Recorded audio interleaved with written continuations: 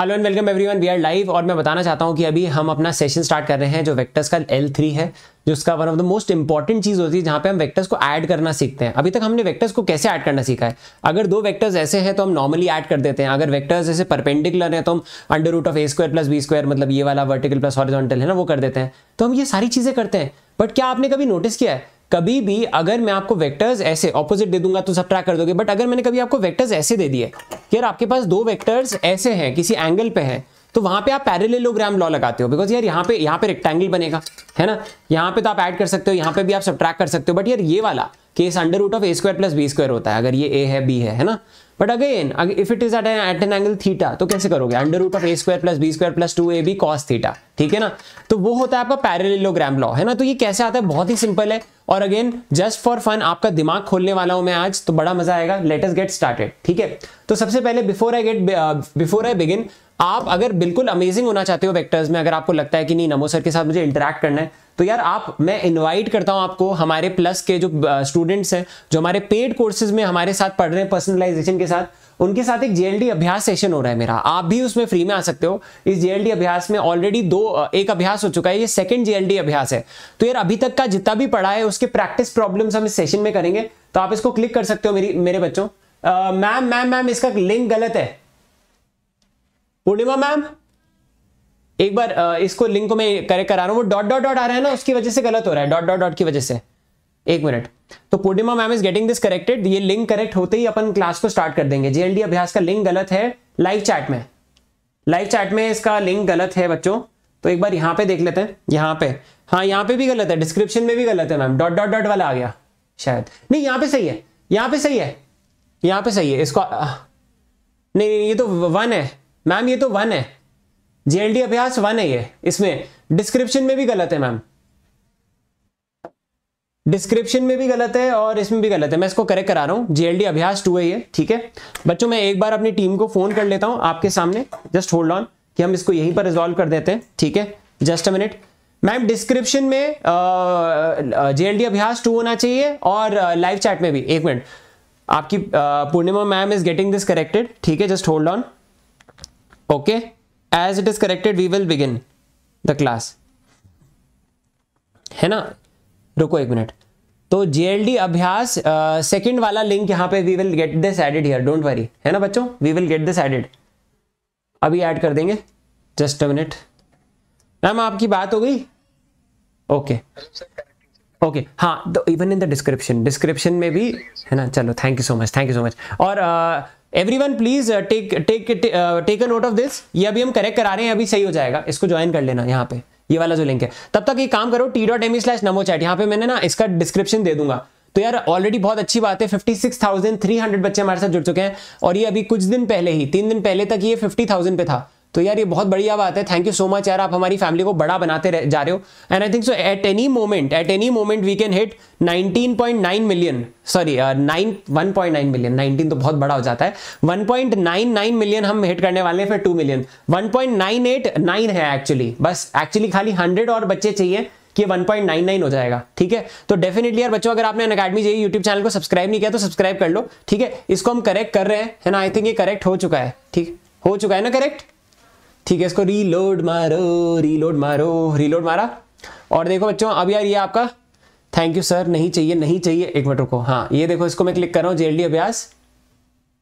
और ये हाँ आ गया वेक्टर्स टू देखो, ये उसका लिंक है प्लीज़ इसको सेव कर लेना, इसमें तुम्हें कल आना है दैट्स इट ठीक है? That's it that's it that's it ठीक है ठीक है ठीक है ठीक है ठीक है। उसके अलावा यार डिस्क्रिप्शन में भी एक बार वीडियो को लाइक कर दो यार प्लीज़ है ना? थोड़ा सा उत्साह बढ़ता है हमारा भी, ठीक है? और इसमें आपका, अरे यार, यहाँ पे मैम यहाँ पे वेक्टर्स वन ही है डिस्क्रिप्शन में। ठीक है?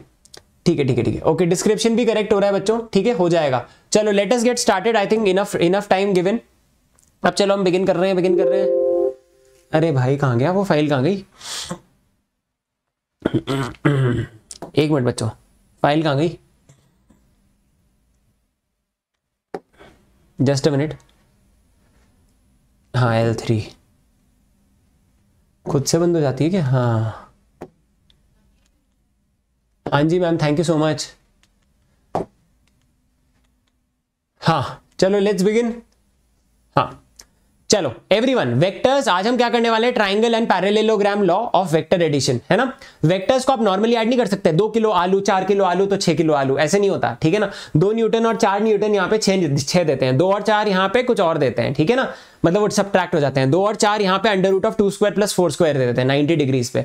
तो आज हम एट एन एंगल थीटा भी देखेंगे, बड़ा मज़ा आने वाला है। Let's get started okay my name is Namo Kaul and again I am I am someone who love physics और मेरा काम है आपको फिजिक्स से प्यार कराना। और आज का सेशन अगर आपको अच्छा लगे तो डेफिनेटली यार please hit a like for the number one team of the country because मेरे लिए इस टीम से बढ़कर कोई कुछ नहीं है। और इस टीम और इस फैमिली से बढ़कर कुछ नहीं है, जो फैमिली अभी दो मिलियन की होने वाली है। तो thank you so much I am really really emotional जो एक चीज़ हमने चार साल पहले स्टार्ट की थी, यार मतलब वो एक फ्लाइंग कलर्स के साथ इतनी अच्छी तरीके से ग्रो कर रही है। Thank you so much for that thank you for showing so much of love and support ensure करता रहूँगा कि बिल्कुल लोएस्ट प्राइस लोएस्ट प्राइस मतलब ज़ीरो प्राइस पे आपको बेस्ट मिले कि यार उसके बाद छोटे से छोटा प्राइस भी उससे कम लगे। Thank you so much for that उसके अलावा एक और चीज़ मैं बताना चाहता हूँ। हंड्रेड परसेंटाइल तीन बार लगातार प्रोड्यूस करने वाली ये टीम है। उसके अलावा अगर आप इस टीम से पर्सनलाइज वे में पढ़ना चाहते हो पर्सनलाइजेशन के साथ। देखो ब्रॉडकास्ट लेवल तो आप यहाँ पे भी पढ़ सकते हो ज़ीरो रुपी कॉस्ट पे। बट अगर आप इस टीम से personalise way voice call feature और इन सारी चीज़ों के साथ पढ़ सकते पढ़ना चाहते हो तो आप अन का सब्सक्रिप्शन ले सकते हो। अन का जब सब्सक्रिप्शन लोगे तो आप कोड यूज़ कर सकते हो उड़ान, क्योंकि ये टीम उड़ान है।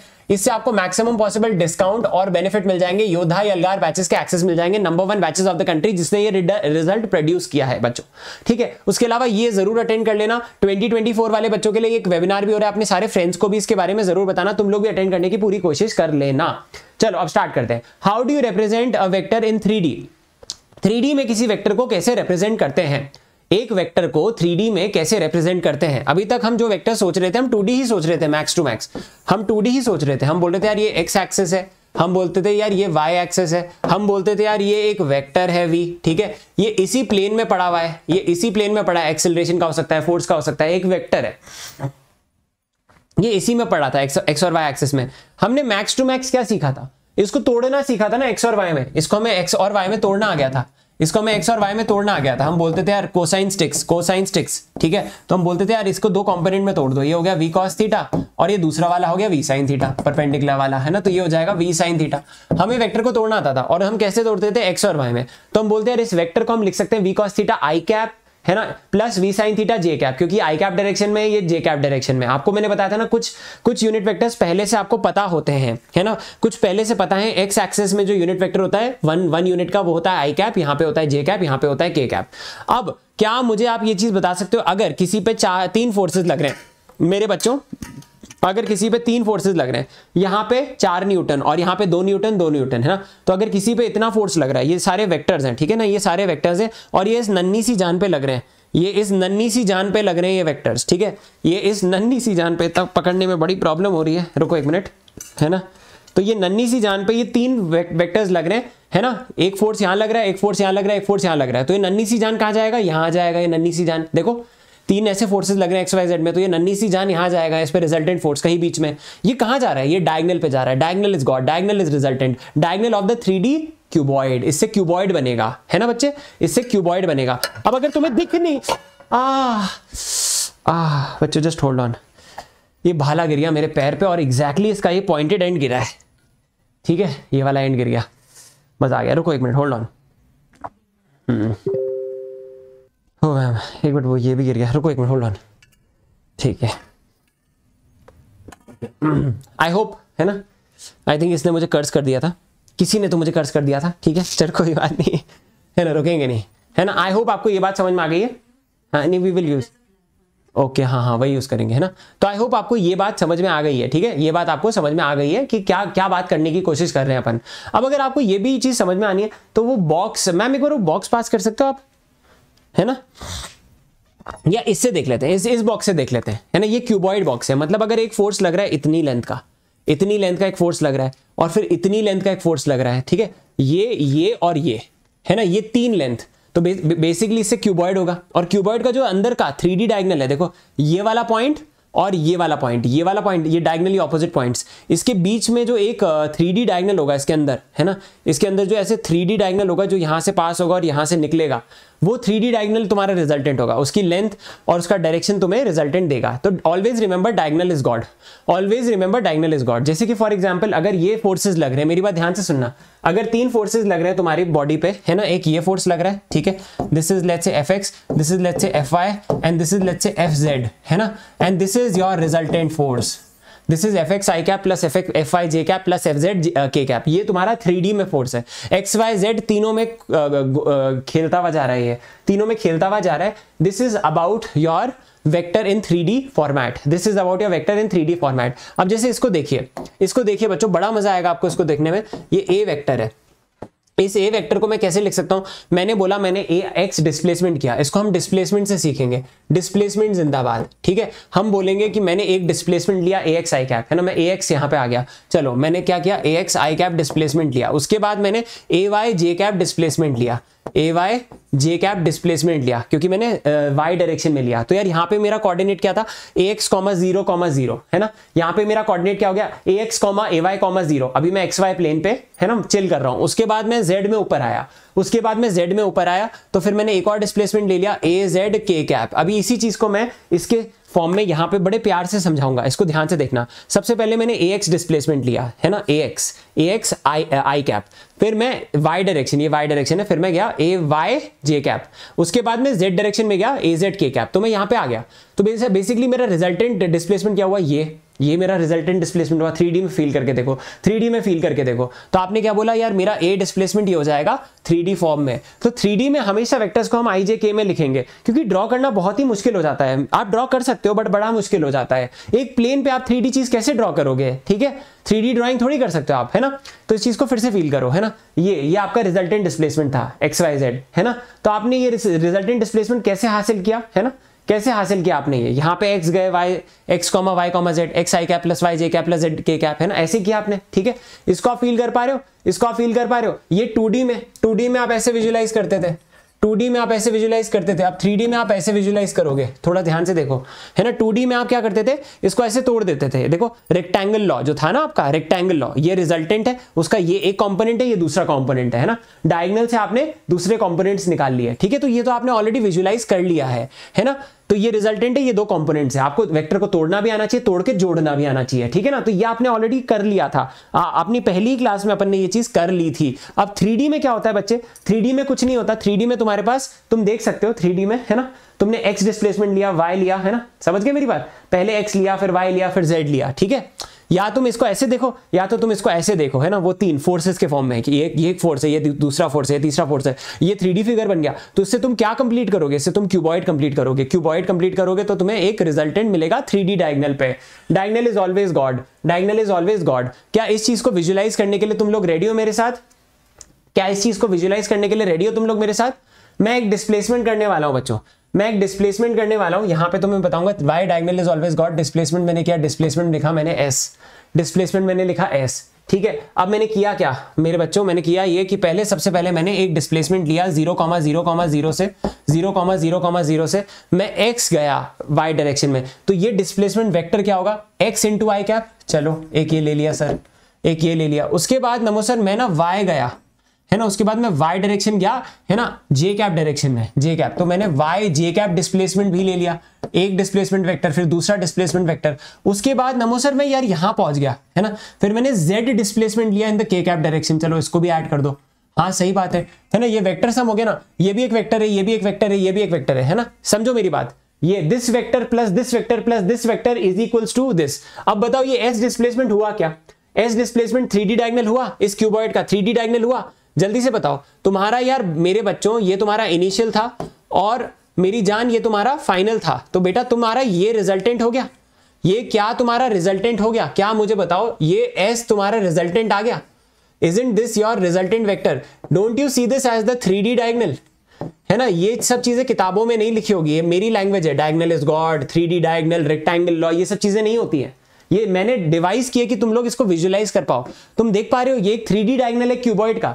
ये थ्री डी डायगनल है क्यूबॉइड का। Diagonal is always god diagonal always gives you the resultant क्या आपको ये बात समझ में आ रही है बच्चों? हाँ टीआरएस गिव अवे करेंगे बच्चों, बहुत जल्दी करेंगे सो डोंट वरी है ना? We will try to do TRS give away very soon ठीक है? अभी मेरा फोकस थोड़ा सा ट्वेंटी तुम्हारे सीनियर्स पे है, उनका एग्ज़ाम है, उनको एंड तक उनका साथ देना है यार। ठीक है ना? तो उनको छोड़ना नहीं है, बहुत ज़्यादा इंपॉर्टेंट है, बहुत क्रूशियल है, बहुत ही एक्सपेरिमेंटल बैच रहा है 2022 वाला।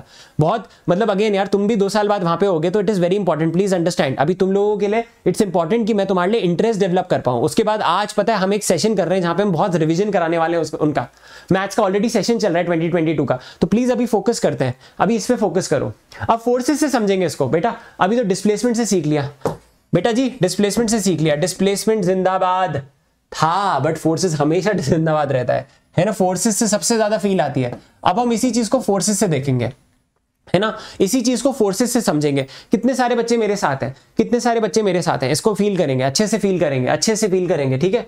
अब मैंने क्या बोला? मेरी जान, मैंने क्या बोला कि तू यहाँ पे बैठा है? ये देख, ये लड्डू है तू, है ना? तू यहाँ पे तेरे को बिठा दिया मैंने ओरिजिन पे बिठा दिया। ओरिजिन पे बिठा दिया। अब तेरे साथ अत्याचार होगा। अब मैं तेरे पे एक फोर्स लगा रहा हूँ। अब मैं तेरे पे एक फोर्स लगा रहा हूँ एक्स न्यूटन एक्स न्यूटन और मैं तेरे पे ना वाई डायरेक्शन में भी एक फोर्स लगा रहा हूँ विच इज़ वाई न्यूटन और मैं तेरे पे इस पे भी एक फोर्स लगा रहा हूँ विच इज़ जेड न्यूटन ये सारे फोर्सेज है। अब ये सारे फोर्सेज है, मैं तेरे को यहाँ से भी खींच रहा हूँ, यहाँ से भी खींच रहा हूँ, यहाँ से भी खींच रहा हूँ। जाएगा कहाँ? जाएगा कहाँ?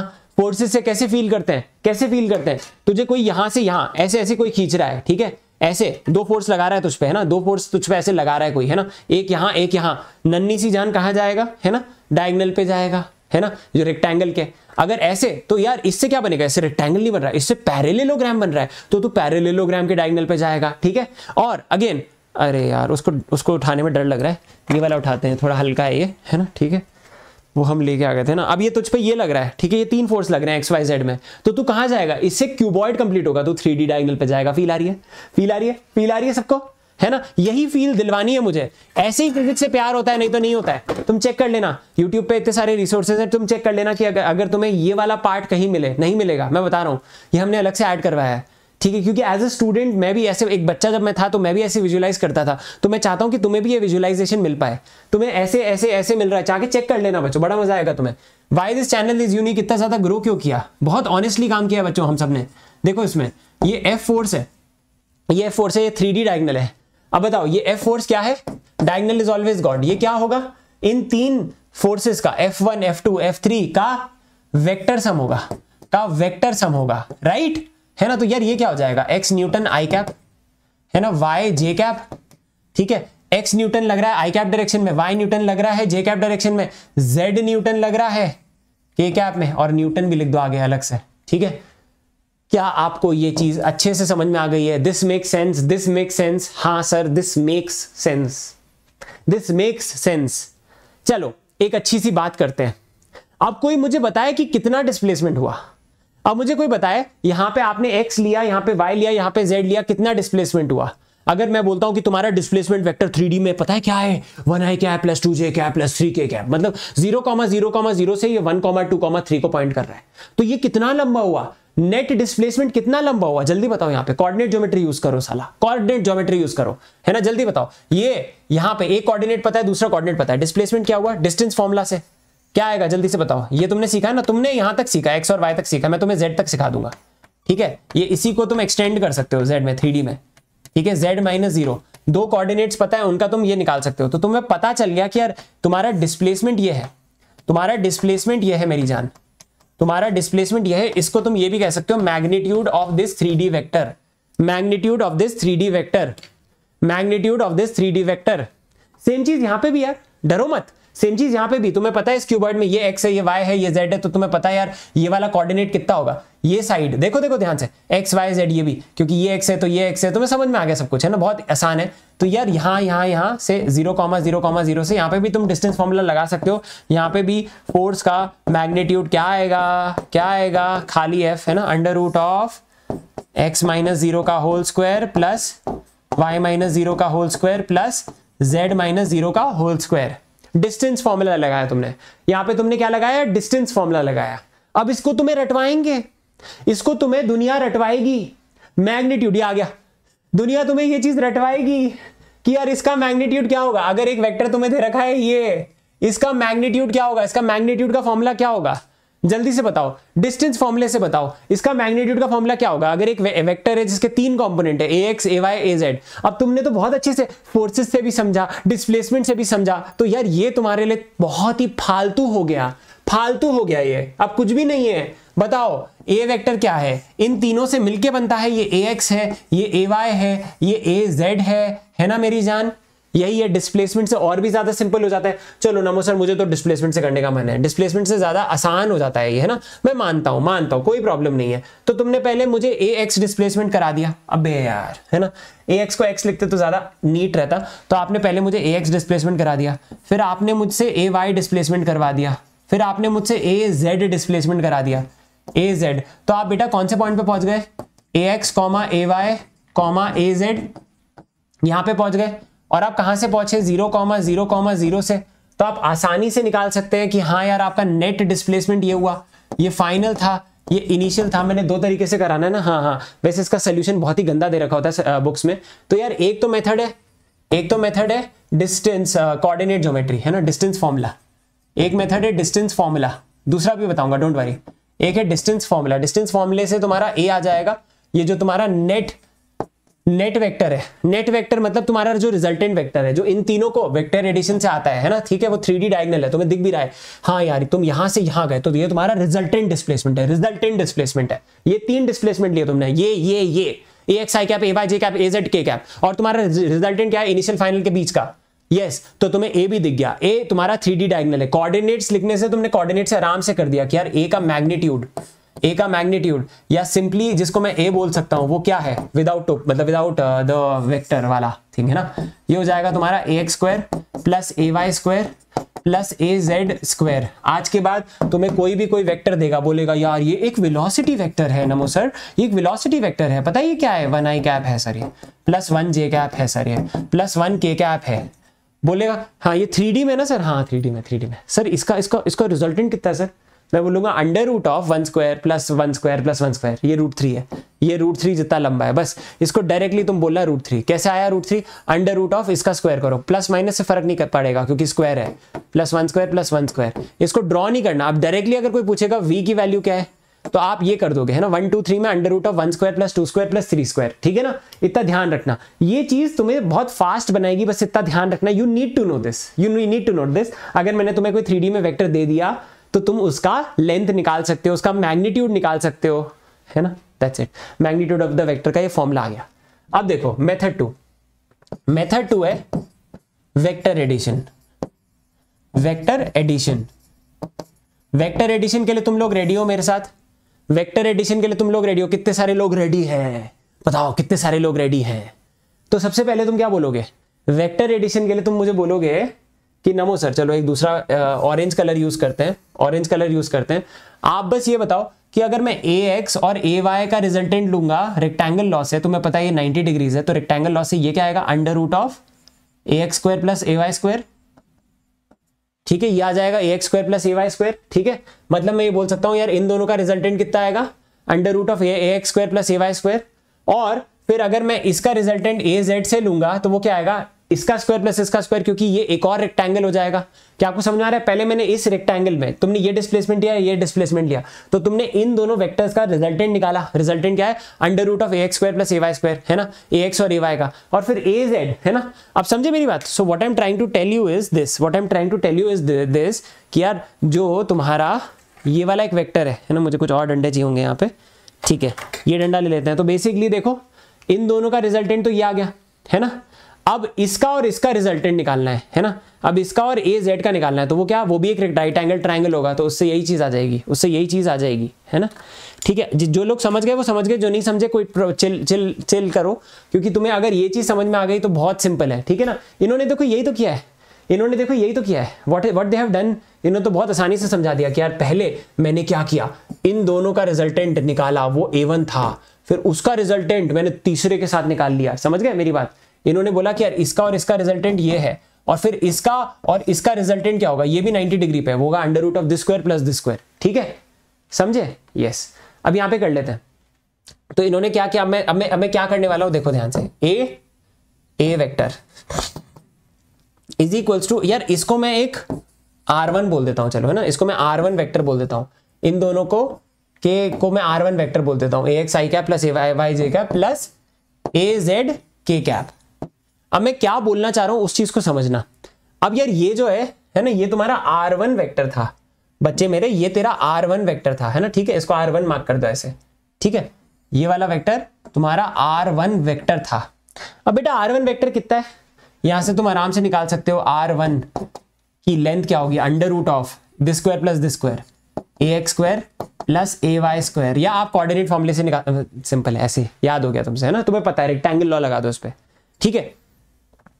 अब तुम्हें पता है यार, इसका मैग्नीट्यूड क्या है? और तुम्हें पता है इसका मैग्नीट्यूड क्या है? अब इसके लिए एक और, इसके लिए एक और राइट एंगल ट्राइंगल बनाओ, ठीक है? जहाँ पे तुम बोलोगे यार हाँ यार, ये आर वन है। ठीक है, ये आर वन है। आर वन ऐसा है। और ये इसके परपेंडिकुलर है। देखो, ये इसके परपेंडिकुलर है ए जेड ए जेड इसके परपेंडिकुलर है। देखो ध्यान से। ए जेड इसके परपेंडिकुलर है, ठीक है? और इसकी लेंथ क्या है? इसकी लेंथ है under root of A X square plus A Y square R one ठीक है? अब बेटा तुम खुद ही निकाल सकते हो ए की ए का मैग्नीट्यूड क्या होगा? ए ये वाला वेक्टर है। तो बेसिकली मैंने ये वाला ट्राइंगल यहाँ पे बना दिया, है ना? ए ये है। अब जल्दी से बताओ ए क्या आएगा? Under root of this square plus this square तो वो आ जाएगा ना A X square plus A Y square plus A Z square light light लेना। अगर समझ में नहीं आया तो कोई प्रॉब्लम नहीं है। ठीक है? पहला वाला मेथड आ गया था, आगे बढ़ते हैं। Direction cosines direction direction cosines direction cosines थोड़ा सा डरावना लगता है बट बहुत सिंपल होता है. डायरेक्शन को साइंस इसके लिए ये फिगर समझो. ये फिगर तुम्हारे सामने जो लिखा है ना, एक थ्री डी वैक्टर है ये. एक थ्री डी थ्री डी में एक वेक्टर बनाया बनाया हुआ है. वेक्टर कौन सा है? ये ए ये ए वेक्टर बनाया हुआ है. A vector is making an angle of A vector is making an angle of alpha with the X axis alpha with the X axis beta with the Y axis and gamma with the Z axis चलो, थोड़ा और प्यार से समझाते हैं। ये तुम्हारे x Y Z के कोऑर्डिनेट्स है। इसको थ्री में समझाना बहुत ज़रूरी है। ठीक है, फिर से देखो। ये एक्स है, ये y है, ये जो ऊपर जा रहा है वो z है। तुम्हारा ये थ्री वेक्टर है। ये तुम्हारा थ्री वेक्टर है। है ना, यहाँ पे a ऐसे निकल गया। अब ये a एक एंगल बना रहा है बेटा। ध्यान से देखो, a एक एंगल बना रहा है। थ्री में देखना थ्री में देखना। a एक एंगल अरे यार इसमें स्टेबिलिटी की बहुत कमी है। है ना, ठीक है, इसको स्टेबल कर दिया मैंने, है ना। ठीक है, इसको अब अब मैंने स्टेबल कर दिया ठीक है? अब ए ये जो ए वेक्टर है, जो एक्स एक्सिस से एंगल बना रहा है देखो एक्स एक्सिस से जो एंगल बना रहा है, वो अल्फ़ा है। ये बीटा है, ये गामा है। ये समझ में आ गया? अल्फ़ा बीटा गामा ये थ्री डी एंगल्स है। अब समझ में आ रहा है? ये फिगर समझ में आ रहा होगा। देखो alpha with the X axis gamma with the this axis beta with this अब आप बोलोगे, सर, ज़रूरी थोड़ी है कि फ़र्स्ट ऑक्टेंट में ही हो एक्स पॉजिटिव हो सकता है यार ये वेक्टर ऐसे हो। हो सकता है ये वेक्टर ऐसे हो है ना? ऐसे ऐसे भी तो हो सकता है वेक्टर। ये एक्स वाई जेड कोऑर्डिनेट है ये नीचे नीचे पॉइंट कर रहा है। एक्स वाई से नीचे जा रहा है ये वेक्टर है ना? हो सकता है है ना? तो इन दैट केस यार ये अल्फ़ा हो जाएगा ये आ, ये बीटा हो जाएगा ये alpha with X axis beta with the Y axis और इसके साथ एक ऑप्टिव्स एंगल बनेगा। ऑप्टिकल 90 से बड़ा एंगल बनेगा है ना? 90 से बड़ा एंगल बनेगा बिल्कुल बनेगा। बट यार एक चीज़ तुम मानते हो ना तय है। एक चीज़ तय है जैसे लेट्स से अगर तुम्हारा वेक्टर ये होता है इसमें क्वेश्चन क्या बनता है वो तुम्हें समझाना बहुत इंपॉर्टेंट है।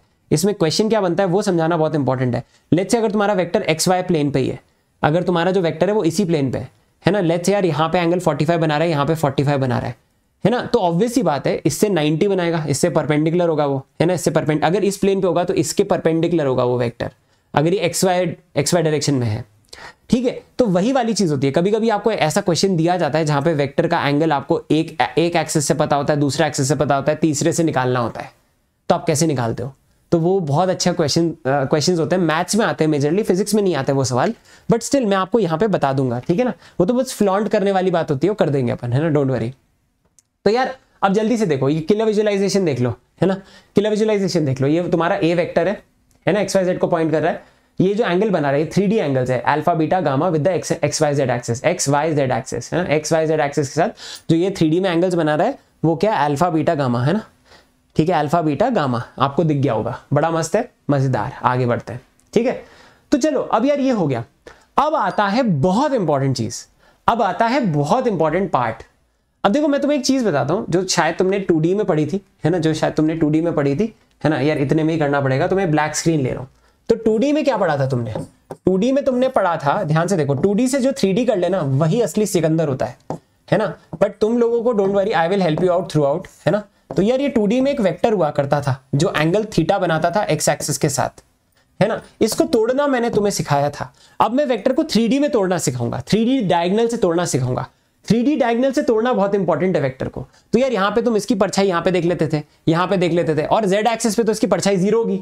जेड एक्सिस पे इसकी परछाई तो ज़ीरो होगी। समझ गए ना? क्योंकि यार ये एक्स वाई प्लेन पे ही है वेक्टर ये X Y X Y plane पे ही है वेक्टर तो मैंने क्या बोला? जल्दी से देखो। I this angle is making this तो मैं इसको तोड़ सकता हूँ। तो यार, ये मेरा कितना हो जाएगा? ये वाला कॉम्पोनेंट हो जाएगा। अगर मुझे इसको तोड़ना हुआ तो ये हो जाएगा मेरा वी कॉस थीटा और यार, ये वाला कितना हो जाएगा? वी साइन थीटा बट अब तुम कोसाइन से ही तोड़ो। कोसाइन स्टिक्स हर जगह लगाओ। कोई प्रॉब्लम नहीं है यार। ये एंगल कितना हो जाएगा? 90 माइनस थीटा ठीक है? तो यार, ये वाला कितना हो जाएगा? V cos of 90 minus theta तुम कोसाइन स्टिक्स दोनों जगह लगा रहे हो।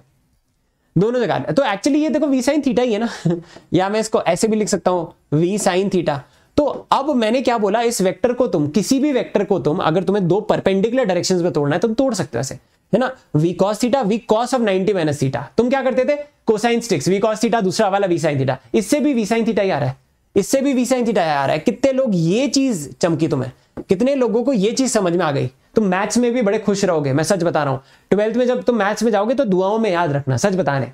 ये चीज़ याद रख लो, कभी भी प्रॉब्लम नहीं आएगी। तुमने दोनों जगह कोसाइन स्टिक्स कर लिया। है ना? Cosine sticks doesn't exist Google search कर लेना, ये हमें पढ़ा हमने पढ़ाया तुम्हें, है ना? वी कॉस थीटा ये क्या है? वी कॉस 90 माइनस थीटा पहले तुम क्या करते थे? वी कॉस थीटा दूसरा वाला वी साइन थीटा अभी वैसे याद रखना, दो दो में तोड़ना है V cos theta V sine theta हो जाएगा। बट ये क्या है? V cos of 90 minus theta है। अब मैंने ये क्यों बताया? इसका एक रीजन है। इसका एक रीजन है क्योंकि अब तुम्हारे लिए बहुत सिंपल हो जाएगा। अब एक थ्री वेक्टर को अगर तुम्हें अल्फ़ा बीटा गामा के हिसाब से तोड़ना है तो यहाँ पे तोड़ो V cos alpha V cos beta V cos gamma तीनों में तोड़ लिया। तीनों, सोचो, एक थ्री डी डायगनल से, एक थ्री डी डायगनल से तुमने तीनों साइड्स ऑफ़ क्यूबॉइड निकाल लिए। एक थ्री डी डायगनल से तुमने तीनों साइड्स ऑफ़ क्यूबॉइड निकाल लिए। Can it be so awesome yes it can be so awesome ये बताना चाहता था मैं तुम्हें। ये बताना चाहता था। अब देखो, यही चीज़ अब मैं तुम्हें फिर से बताता हूँ। अब यहाँ पे थ्री में देखना बहुत मज़ा आएगा। प्रोजेक्शन है ना? प्रोजेक्शन तुम निकालोगे। प्रोजेक्शन तुम निकालोगे, उस ये थ्री डी डायगनल है है ना? What is this this is a three D diagonal of a cuboid ये लैंग्वेज मेरी थोड़ी डिफरेंट है, क्योंकि मैं थोड़ा विजुअल इंसान हूँ, ये तुम्हें कहीं नहीं मिलेगा। तुम्हें ये पता है कौन सा क्यूबॉइड है ये? ये कौन सा क्यूबॉइड है? जब तुम थ्री ये हाँ ये ये वाला क्यूबॉइड है। जब तुम ए ऐसे बनाते हो ना तो क्यूबॉइड बनता है ना? ये ऐसे क्यूबॉइड बना दिया तुमने थ्री डी डायगनल तो तुम अब ये ये और ये निकालना चाहते हो, ये ये और ये निकालना चाहते हो। तो यार ये कैसे निकलेंगे? ये ये कोसाइन स्टिक से निकालो कोसाइन स्टिक से निकालो। अब बताओ A X is A cos alpha cosine sticks लगाओ तुम। थ्री में कोसाइन स्टिक्स लगाओ। कोसाइन स्टिक्स लगाओ, जल्दी से। A cos alpha A cos beta A cos gamma बात समझ में आ गई? A cos alpha A cos beta A cos gamma जो बच्चे अभी भी फॉलो नहीं कर पा रहे, उनके लिए उनके लिए ये कि अगर ये एक्स एक्सेस है, अगर ये एक्स एक्सेस है, और ये इनका वेक्टर है। एक्स एक्सेस पे ये वेक्टर अभी खाली एक्स एक्सेस और इस वेक्टर को देख रहे हैं। जेड वाई भाड़ में गए, है ना? वाई जेड भाड़ में गए। यहाँ पे एंगल कितना है? अल्फ़ा तो आपने क्या बोला? जल्दी से बताइए, जल्दी से बताइए, जल्दी से बताइए, है ना? आपने बोला क्यूबॉइड का ये वाला साइड क्या होगा? आपने बोला ये A X will be A cos alpha cosine sticks ये बात समझ में आ गई? अब आप बोल रहे हो, यही चीज़ मुझे वाई एक्सिस के साथ देखनी है सर वाई एक्सिस के साथ देखनी है सर चलो दिखाएँगे, कोई नहीं। अब वाई एक्सिस के साथ भी, अब वाई एक्सिस अब मैं खाली इन दोनों को देख रहा हूँ। पहले मैंने इस तो इसको इसको देखा, अब मैं इस, इसको इसको देखता हूँ। सेम चीज़ सेम नज़रिया। अब मैं इसी वेक्टर को फिर से मैंने ऐसे ड्रॉ किया। थोड़ा सा डिफरेंटली करा, है ना? और अब मैं यार यहाँ पे बोल रहा हूँ कि यार ये मेरा ये मेरा वाई एक्सेस है। ठीक है, ये मेरा वाई एक्सेस है। ठीक है, अब इस वाई एक्सेस के साथ जो एंगल है वाई एक्सेस के साथ जो एंगल है, वो है बीटा वो है बीटा अब एक बार देखते हैं यार, यहाँ पे इसका प्रोजेक्शन कितना आता है? प्रोजेक्शन कॉस से आता है हमेशा ना तो ए वाई क्या हो जाएगा? A Y will be A cos beta हाँ अब इसको ऐसे देख लो। तो बेसिकली आप इंडिविजुअली कर रहे हो, है ना? ए कॉस यहाँ पे कोसाइन स्टिक्स कर दिया A cos alpha A cos beta A cos gamma तुम्हें आता है कोसाइन स्टिक करना। अब तुम खाली कोसाइन स्टिक करोगे। थ्री में तुम खाली कोसाइन स्टिक्स करोगे टू में तुम्हें वैसे क्या है यार वी कॉस थीटा दूसरा वी साइन थीटा दो वेक्टर को तोड़ना, है ना? वेक्टर को तोड़ना। ठीक है और वैसे ही आप इसमें भी तोड़ लोगे ठीक है? वैसे ही आप इसमें भी तोड़ लोगे है ना? ये, ये अब इन दोनों को ड्रॉ कर रहा हूँ मैं इन दोनों को ड्रॉ कर रहा हूँ मैं है ना? ठीक है? अब आपने बोला यार ये ए वेक्टर है। ये आपने बोला ए वेक्टर है? और आपने बोला यार कोई नहीं ये ए वेक्टर है। तो यार ये मेरा जेड एक्सिस है। अब जेड एक्सिस के साथ जो मेरा एंगल है वो मेरा गामा है। है ना? और अब अगर मुझे इस पे ये कंपोनेंट निकालना है तो ये क्या हो जाएगा? A Z is equals to A cos gamma तो ये तीनों चीज़ें समझ में आ गई अच्छे से। खच खच खच। अब इसके बाद मैथ्स है। इसके बाद मैथ्स है। ये समझ में आ गई? खचैक। ये समझ में आ गई? अब इसके बाद कुछ नहीं करना। ये आ गया तुम्हारा, है ना? इसके बाद क्या है? ये डेरिवेशन में तुम्हारे कर लेता हूँ। ये कैसे आता है? कोसाइन है ना? ये सारा। कोसाइन डायरेक्शन कोसाइंस ये डायरेक्शन कोसाइंस होते हैं कॉस स्क्वायर गामा इसको एल स्क्वायर भी कहते हैं एल एल एम एन भी कहते हैं इसको, है ना? इसको एल एम और एन भी कहते हैं, ठीक है? कॉस एल्फा कॉस गामा है ना? इनको तुम एल एम और एन भी कहते हो, है ना? मैथ्स में तुम्हें बाद में सिखाया जाएगा, ये क्या है? L square plus M square plus N square ठीक है? ये चीज़ वन के बराबर होती है। एल क्या होता है? Cos alpha cosine of the angle cosine of the angle made with the X axis ये डायरेक्शन कोसाइन हो गया, एक डायरेक्शन कोसाइन दूसरा direction cosine beta cos beta cosine beta cosine gamma ये तीन डायरेक्शन कोसाइंस होते हैं, ये वाले, है ना? ये डायरेक्शन कोसाइंस होते हैं। कॉस अल्फ़ा कॉस बीटा और कॉस गामा ये होते हैं डायरेक्शन कोसाइंस इनको एल एम और एन भी कहते हैं, खाली कॉस को। ठीक है? और अब तुम्हें एक चीज़ पता है, अब तुम्हें एक चीज़ पता है कि ध्यान से सुनना, ध्यान से सुनना, ये बहुत ज़्यादा इंपॉर्टेंट है बच्चों। ठीक है? अगर मैं यार यहाँ से कॉस स्क्वायर है ना? Cos square alpha plus cos square beta ये इंपॉर्टेंट होता है ना? है ना? प्लस कॉस स्क्वायर गामा को निकालू तो क्या आएगा? तो क्या आएगा? जल्दी से बताओ। L square plus M square plus तो यार यहाँ से मेरा आ गया ना कॉस एल्फा क्या आया मेरा? जल्दी से बताओ। है ना? यहाँ से मेरा कॉस एल्फा आया ए बाई एक्स स्क्वायर है ना? ए ए एक्स ये आ गया ना? यहाँ से मेरा ये क्या आएगा? ए एक्स बाई ए है ना? जल्दी से देखो।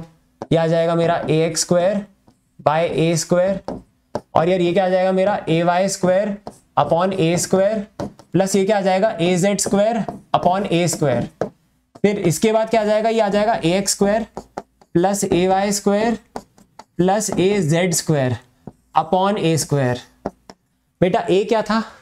याद करो ए की लेंथ हमने निकाली थी ना पहले? मैग्नीट्यूड ऑफ़ ए या खाली ए ये क्या होता है? Under root of A X square plus A Y square है ना? इसके तीन कॉम्पोनेंट्स है ना? ए जेड स्क्वायर यही होता है। अब तुम्हें क्योंकि पता है यार, ये चीज़ क्या है? ये चीज़ क्या है? है ना? ये चीज़ ए स्क्वायर ही है। तो तुम इसमें लिख दोगे ना दिस इज़ नथिंग बट ये पूरी चीज़ क्या है? या या ए स्क्वायर को लिख दो। ए स्क्वायर को लिख दो। A X square plus A Y square plus A Z square और यार, ये ए क्या होता है? है ना? ए क्या होता है? अंडर रूट ऑफ़ फिर इसका स्क्वायर करोगे तुम। तो यार, ये चीज़ तो वन ही आ जाएगी ना। ये क्या होगा? A X square plus A Y square plus A Z square है ना? तो ये वन ही आ जाएगा। तो इससे समझ में आया कि cos square alpha plus cos square beta plus cos square gamma is equals to one चलो, इस पे एक इंटरेस्टिंग क्वेश्चन तुम्हें देता हूँ। तुम you can use the scientific calculator if you want you can use the scientific calculator if you want मैं इस पे एक बहुत ही बेहतरीन सवाल तुम्हें दे रहा हूँ, एक थ्री एक सवाल जो तुम्हें वैसे बाद में देखने को मिलेगा। ये एक थ्री वेक्टर है। ये एक थ्री वेक्टर है, ठीक है? ये एक थ्री वेक्टर है। इस वेक्टर को मैं वी वेक्टर बोल रहा हूँ। मैं बोलता हूँ कि this is making an angle of 45 degrees with this axis X axis Y axis इसके साथ 45 बना रहा है और इसके साथ भी 45 बना रहा है। इसके साथ 45 बना रहा है, इसके साथ भी 45 बना रहा है तो इसके साथ क्या बना रहा होगा?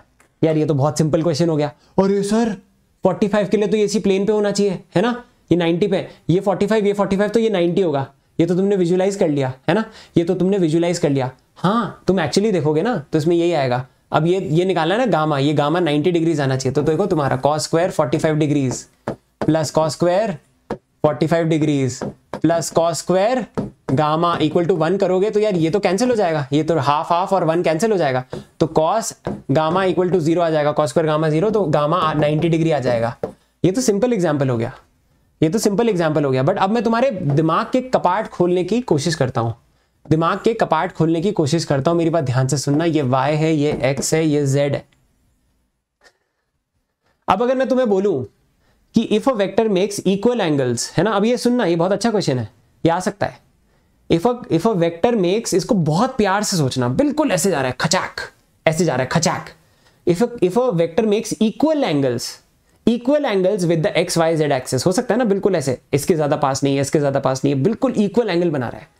इक्वल एंगल मतलब ए कॉमा ए कॉमा है। क्यूब बन रहा है इसमें क्यूब बन रहा है है ना? तो वो उसका उसका उसका क्या एंगल होगा एक्स वाई जेड एक्सेस के साथ? तो इसका क्या एंगल होगा एक्स वाई जेड एक्सेस के साथ? ये बहुत अच्छा क्वेश्चन है। बताओ। देखते कौन कर पाता है इसको। तो फिर इसका आंसर क्या होगा? जल्दी बताओ। कोई बता सकता है इसका आंसर क्या होगा? है ना? इसका आंसर क्या होगा? What will be the answer what will be the answer in this case क्या आंसर होगा? अगर ये सारे एंगल बराबर हैं, निकाल सकते ना? सारे एंगल अल्फ़ा अल्फ़ा ले लो cos square alpha alpha is equal to beta is equal to gamma हो गया ना। कॉस स्क्वायर तो बेसिकली ये हो जाएगा इक्वल टू वन तो कॉस अल्फ़ा कितना हो जाएगा? वन बाय रूट थ्री और ये अक्यूट एंगल ही होगा। तो cos inverse one by root three है। कैलकुलेटर से निकाल लेना। रेडियन में या डिग्री में। ये क्या आता है? यही आ रहा है क्या सबका? जल्दी से बताओ। ये आ रहा है? बहुत सारों को लग रहा होगा, नहीं सर सिक्सटी डिग्री होना चाहिए, क्योंकि हमने इक्विलेटर ये थ्री है पागल। ये थ्री है। देखा, मैं मैं जानता था, बहुत सारे लोग बोलेंगे सिक्सटी डिग्री सिक्सटी डिग्री अरे, पगले सिक्सटी डिग्री ऐसे थोड़ी होगा? समझ में आ गया सिक्सटी डिग्री नहीं है।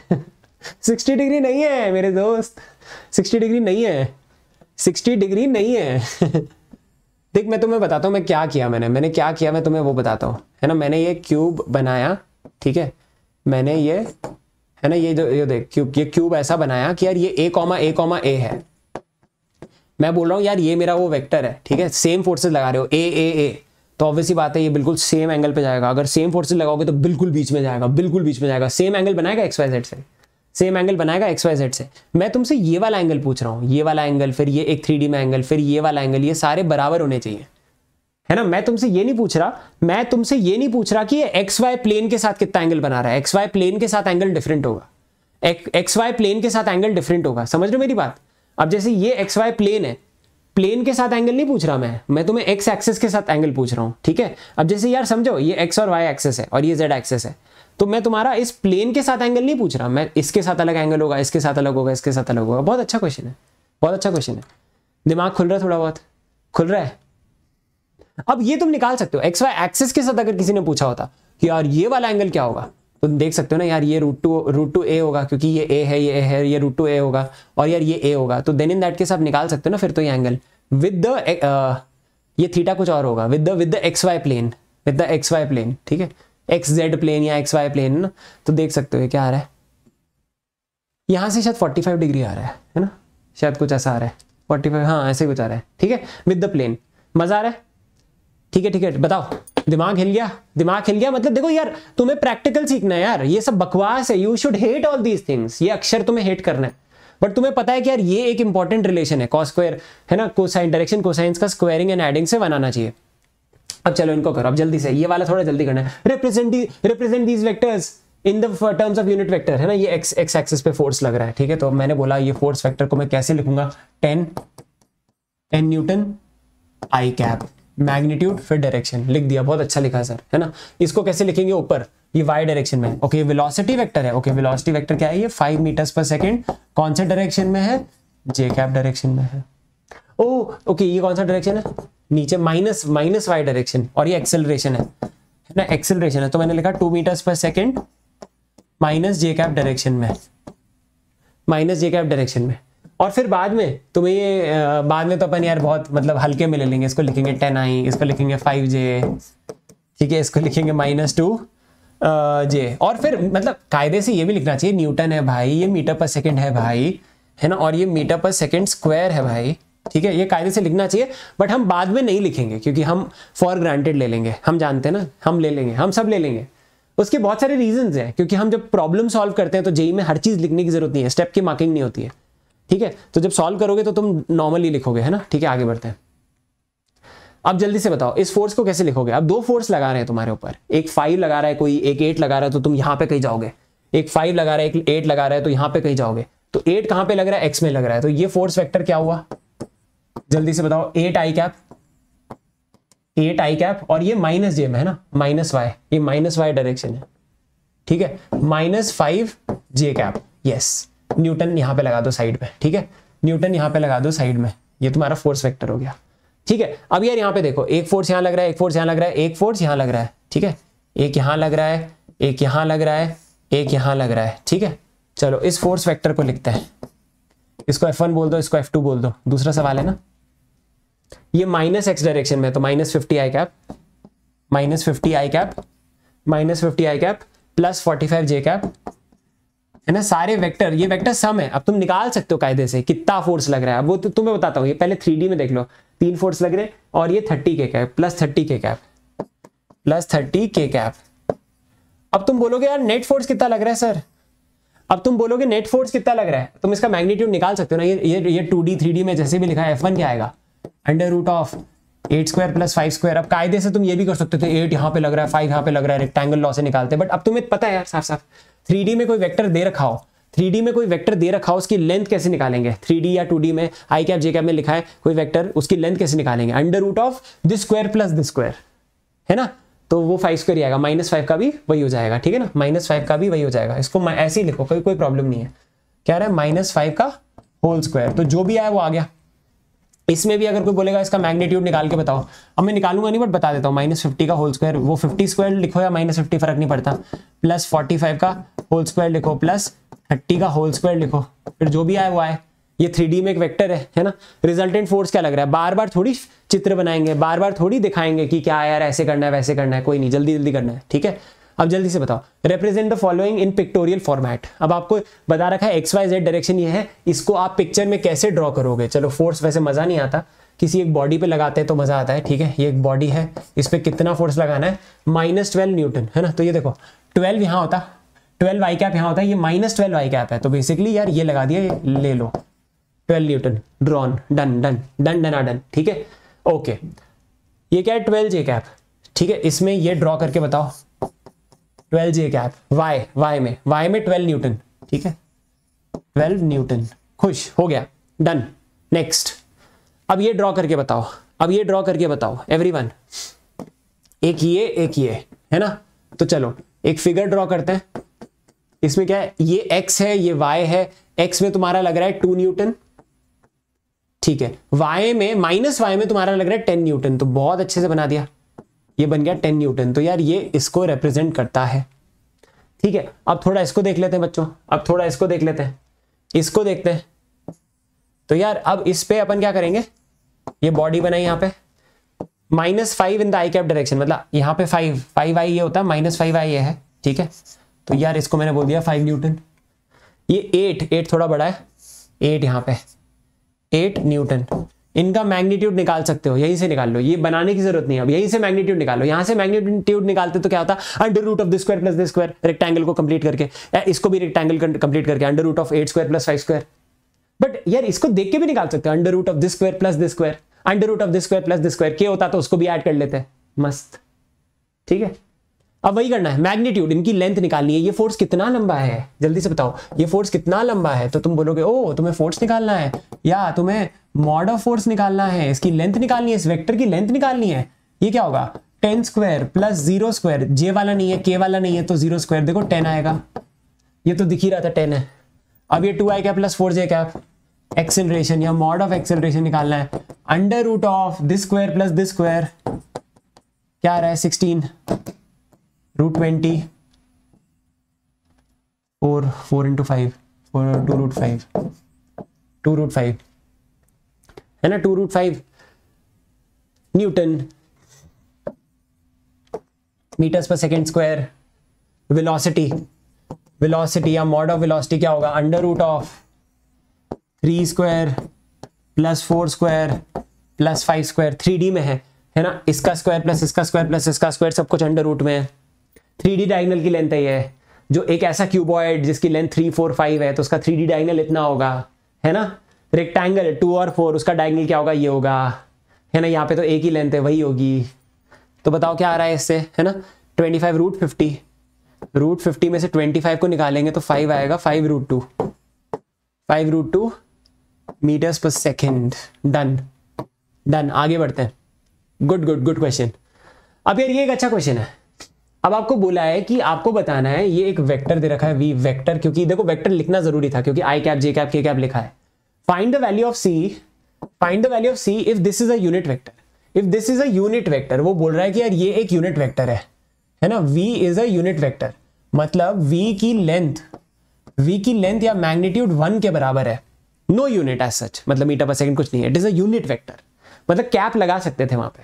है ना कैप लगा सकते थे। तो मतलब इसका मॉड वन है। नो नो वन मीटर पर सेकंड वन मीटर पर इट्स अ यूनिट वेक्टर बिल्कुल। वन यूनिट का विदाउट एनी मैग्नीट्यूड बट वो इंपॉर्टेंट नहीं है। वन है। तो इसकी लेंथ क्या होनी चाहिए? इसकी लेंथ वन होनी चाहिए। तो इसकी लेंथ को वन करने के लिए सबसे पहले आप ये लिखोगे, ये क्या है? है ना, ये क्या है? V is equal to under root of point six square plus point eight square ये तो c ज़ीरो हो जाएगा ना, क्योंकि यार यही वन हो गया। यही चीज़ वन हो जाती है। सिक्स से टेन का ट्राइंगल है है ना? इज़ इक्वल्स टू वन तो अब देखो one plus c square is equals to one c is equals to zero next question ठीक है? How to resolve vectors how to resolve vectors I hope ये बात तुम्हें पता है. हाउ टू रिजॉल्व वेक्टर्स ये बात पता है फोर्सेस से देखते हैं. है ना? ये तो तुम्हें बहुत बार बता रखा है बट फिर से बताएँगे. हाउ टू रिजॉल्व और तोड़ना वेक्टर वेक्टर को तोड़ना. वेक्टर को तोड़ना, ठीक है? एवरी वन किलो विजुलाइजेशन देखो जल्दी से। एक वेक्टर है। यार, इस वेक्टर को मैं वी वेक्टर ही बोल देता हूँ। चलो, कोई प्रॉब्लम नहीं है। वी वेक्टर ही बोल दिया। इसको कैसे तोड़ोगे? खच खच खच खच खच खच खच खच खच। दो में तोड़ूँगा मैं। मैं बोलूँगा, यार, यहाँ पे वी कॉस थीटा दूसरा वाला v cos ninety minus theta है ना? दो में तोड़ सकते हैं। दो ऑर्थोगोनल या परपेंडिकुलर डायरेक्शन में तोड़ सकते हैं। ये तोड़ दिया v cos theta v sine theta ठीक है? तो यार, इस वेक्टर को मैं क्या, कैसे लिख सकता था? इस वेक्टर को मैं ऐसे लिख सकता था v cos theta i cap plus v sine theta j cap ऐसे लिख सकता था मैं। है ना? फोर्सेस में ऐसे समझ में आता है। एक फोर्स लग रहा है मतलब ये और ये लग रहा है, इसलिए यहाँ जा रहा है। बट डिस्प्लेसमेंट में थोड़ा अलग तरीके से देखना पड़ता है। डिस्प्लेसमेंट में मैं क्या करता हूँ, इस इसको यहाँ पे शिफ्ट कर देता हूँ। इसका मतलब क्या है, मैं तुम्हें बताता हूँ। अब तुमने क्या किया? इसको तुमने बोला कि यार तुमने यार ये डिस्प्लेसमेंट किया। फिर तुमने यार ये डिस्प्लेसमेंट किया। ये तो वेलोसिटी ले लिया। मुझे एक्चुअली फोर्स लेना चाहिए था। चलो इसको डिस्प्लेसमेंट ले लेते हैं। इसको डिस्प्लेसमेंट ले लेते हैं। तो मैंने बोला, यार, पहले मैं एक्स गया, या, है ना? एस है ना? तो मैं इसको बोल देता हूँ, यार, ये क्या हो जाएगा मेरा? एस ये भी मैथमेटिकली तुम्हें पता है। मैथमेटिकली ये क्या होता है? है ना? मैथमेटिकली इस ट्रायंगल में अगर ये साइड ऐसे तो यार, ये हो जाएगा एस कॉस थीटा डिस्प्लेसमेंट क्या? फिर तुमने एस साइन थीटा डिस्प्लेसमेंट क्या? तो तुम लिख सकते हो what is s vector it is s cos theta displacement in the i cap direction पहले तुम यहाँ गए plus s cos theta in the j cap direction सही है। है ना? सही है, तोड़ सकते हो तुम ऐसे। ये तुम्हें ऑलरेडी आता है। हाँ हाँ इसका देखो, ये एफ़ ही आ रहा है। है ना? तुमने इस वेक्टर को तोड़ा। कच कच कच कच, तोड़ दिया। ओके तोड़ दिया। अब देखो क्या, ये एफ़ ही आ रहा है। हाँ इसको आपने ये करके देखा। ये एफ़ कॉस थीटा का plus f sine theta j का पाया मैग्नीट्यूड यही आ रहा है। F f f cos theta का whole square plus f sine theta का whole square f square into c square plus s square which is one हो गया, काम खत्म। एफ़ ही आ गया। वही आ गया। सही बात है। क्लियर है? सब कुछ सिंपल है। अब देखो, ये सब सिंपल है चीज़ें। अब ये तुम्हें फालतू में पढ़ाते हैं। हॉरिजॉन्टल कंपोनेंट प्लस वर्टिकल रटा देते हैं। कि अगर एक टू में, ये टू के लिए टू में एक वेक्टर एक्स वाई में है तो तुमने एक ये तोड़ा, एक ये तोड़ा। तो what is the magnitude of the vector इसको ऐसे लर्न कर लो। Magnitude under root of this square plus this square अगर आपने इसको तोड़ा, अगर आपने इसको तोड़ा एफ़ कॉस थीटा और एफ़ साइन थीटा में सो so आपका हॉरिजॉन्टल कंपोनेंट होगा एक वर्टिकल कंपोनेंट होगा उन, है ना, उन दोनों का। Squaring and adding squaring and adding under root में, है ना? आपको दे देगा magnitude of the vector in two D अब चलो एक क्वेश्चन करते हैं।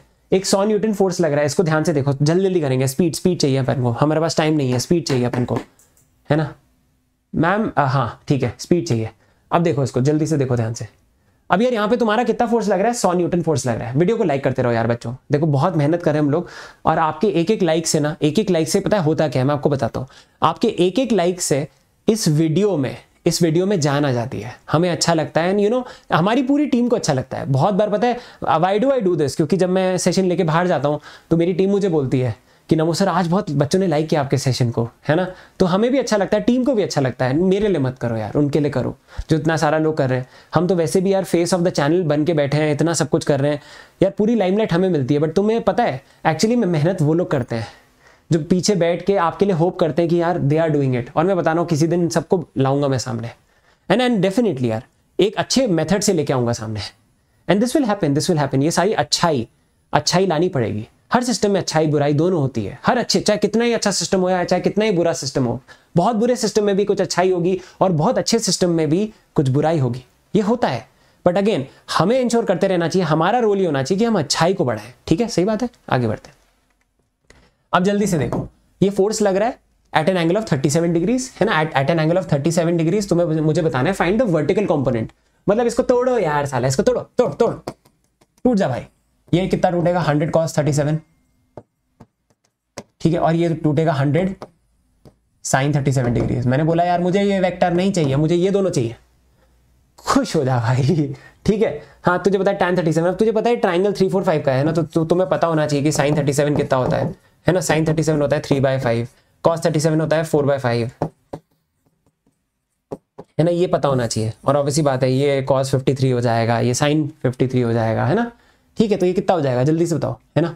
ये आपका थोड़ा बड़ा होगा तो ये एट्टी हो जाएगा। और यार ये सिक्सटी हो जाएगा। ठीक है, इसकी वैल्यू ये वर्टिकल कंपोनेंट है, ये हॉरिजॉन्टल कंपोनेंट है। तो यार ये एफ़ वाई क्या आ रहा है इसका? एफ़ वाई आ रहा है सिक्सटी और एफ़ एक्स आ रहा है। इसको अगर मैं एफ़ एक्स बोल दूँ इसको मैं एफ़ वाई बोल दूँ वर्टिकल कॉम्पोनेंट तोड़ दिया, देख लिया एफ़ एक्स क्या है? और ये एफ़ एक्स है एट्टी तो मैं क्या निकालना था? Vertical component sixty is the correct answer आगे बढ़ते हैं। यस सही बात है। अब दूसरी चीज़ है। अब क्वेश्चन उल्टा है। उलट पुलट कर दिया क्वेश्चन को। उलट पुलट कर दिया क्वेश्चन को। क्वेश्चन में इन्होंने बोला क्वेश्चन में इन्होंने बोला, यही रिजल्टेंट वेक्टर है, यही बाप वेक्टर है। इस पर लिख दो बाप। ये बहुत इंपॉर्टेंट है। ये बाप वेक्टर है। या ये रिजल्टेंट वेक्टर है। ये बच्चा है इसका। जब बाप को तोड़ते हैं तो दो बच्चे निकलते हैं। बाप को तोड़ा तोड़ा वेक्टर को तो दो बच्चे कंपोनेंट वेक्टर इससे इससे छोटे ही होंगे ना ऑब्वियसली बात है। जब 100 न्यूटन है तो उससे छोटे ही दो दो निकलेंगे। एक एक सिक्सटी निकला, एक एट्टी निकला। अगर कोई एट्टी सिक्सटी लगाता है तो वो सौ के बराबर है थर्टी सेवन डिग्री पे। तो या तो ये लगाओ या ये दोनों लगा दो। है ना? वेक्टर को तोड़ना तुम्हें आता है। अब तुमने एक चीज़ रियलाइज़ करी कि यार यहाँ पे सिक्सटी न्यूटन फोर्स लग रहा है। और यार ये इसका कॉम्पोनेंट है। This is just a component ये दे रखा है वहाँ पे। देखो क्वेश्चन में ये दे रखा है। और तुमसे क्या पूछा है? तुमसे पूछा है force is acting on the body f है ना? है ना? अब उसका एक component it's component is sixty f नहीं, इसका एक कॉम्पोनेंट सिक्सटी है। है ना? तो तुम्हें एफ़ की वैल्यू निकालनी है। तो तुम बोलोगे, बात सही है बॉस बात सही है, जब हम इसको तोड़ते हैं, जब हम इसको तोड़ते हैं तो दो मिलते हैं। एक दे रखा है उसमें से। तो आपने बोला, यार, ये क्या होगा? ये हो जाएगा एफ़ कॉस थर्टी डिग्रीज यही चीज़ सिक्सटी के बराबर गिवन है। और ये हो जाएगा f sine thirty degrees f sine thirty degrees तो बेसिकली तुम्हें ये दे रखा है कि एफ़ एक्स या एफ़ कॉस थर्टी डिग्रीज ये देखो, बाप वेक्टर का एक कंपोनेंट तुम्हें सिक्सटी गिवन है।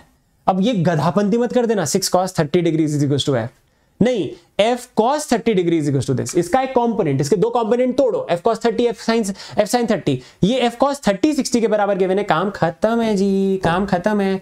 कॉस थर्टी क्या होता है? रूट थ्री बाई टू ये क्या आएगा? सिक्सटी एफ़ कितना आएगा? One twenty by root three कोई ऑप्शन नहीं है, क्योंकि नीचे हम इरेशनल नहीं रखते। तो ये कितना आ गया?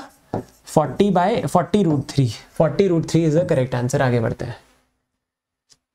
हाँ next what is vector what is the triangle law of vector addition अब बहुत सारे बच्चे सोच रहे होंगे, नमो सर अभी बहुत अच्छी थ्योरी बताएँगे, मज़ा आ जाएगा, ये हो जाएगा, वो हो जाएगा, कुछ नहीं होने वाला।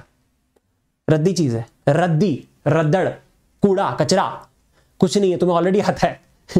Triangle law is nothing but I Q vector I Q तुम्हारा इतना अच्छा हो चुका है, क्योंकि मैंने तुम्हें वो सब चीज़ें पढ़ा रखी है। इसको तुम डिस्प्लेसमेंट से सीखोगे। डिस्प्लेसमेंट से सीखोगे। तुमने एक डिस्प्लेसमेंट लिया, ध्यान से देखो, तुम यहाँ पे थे, तुमने एक डिस्प्लेसमेंट लिया ये वाला, पहले ए लिया, फिर बी लिया, तुम इस रूट से गए, तुम यहाँ पे पहुँच गए, तुम यहाँ पे पहुँच गए, तुमने झंडा भी बना दिया, ये तुम्हारा फाइनल है, ये इनिशियल था, ये फाइनल था, अब बेटा ये एक तरीका हो गया, ये भी एक तरीका हो गया, या तो यहाँ से जाओ, या तो यहाँ से चले जाओ, ठीक है ए डिस्प्लेसमेंट लिया, फिर बी डिस्प्लेसमेंट लिया तो रिजल्टेंट क्या होगा? आर इससे एक ट्राइंगल बन रहा है, इससे ट्राइंगल बन रहा है तो इससे क्या लिख सकते हो तुम?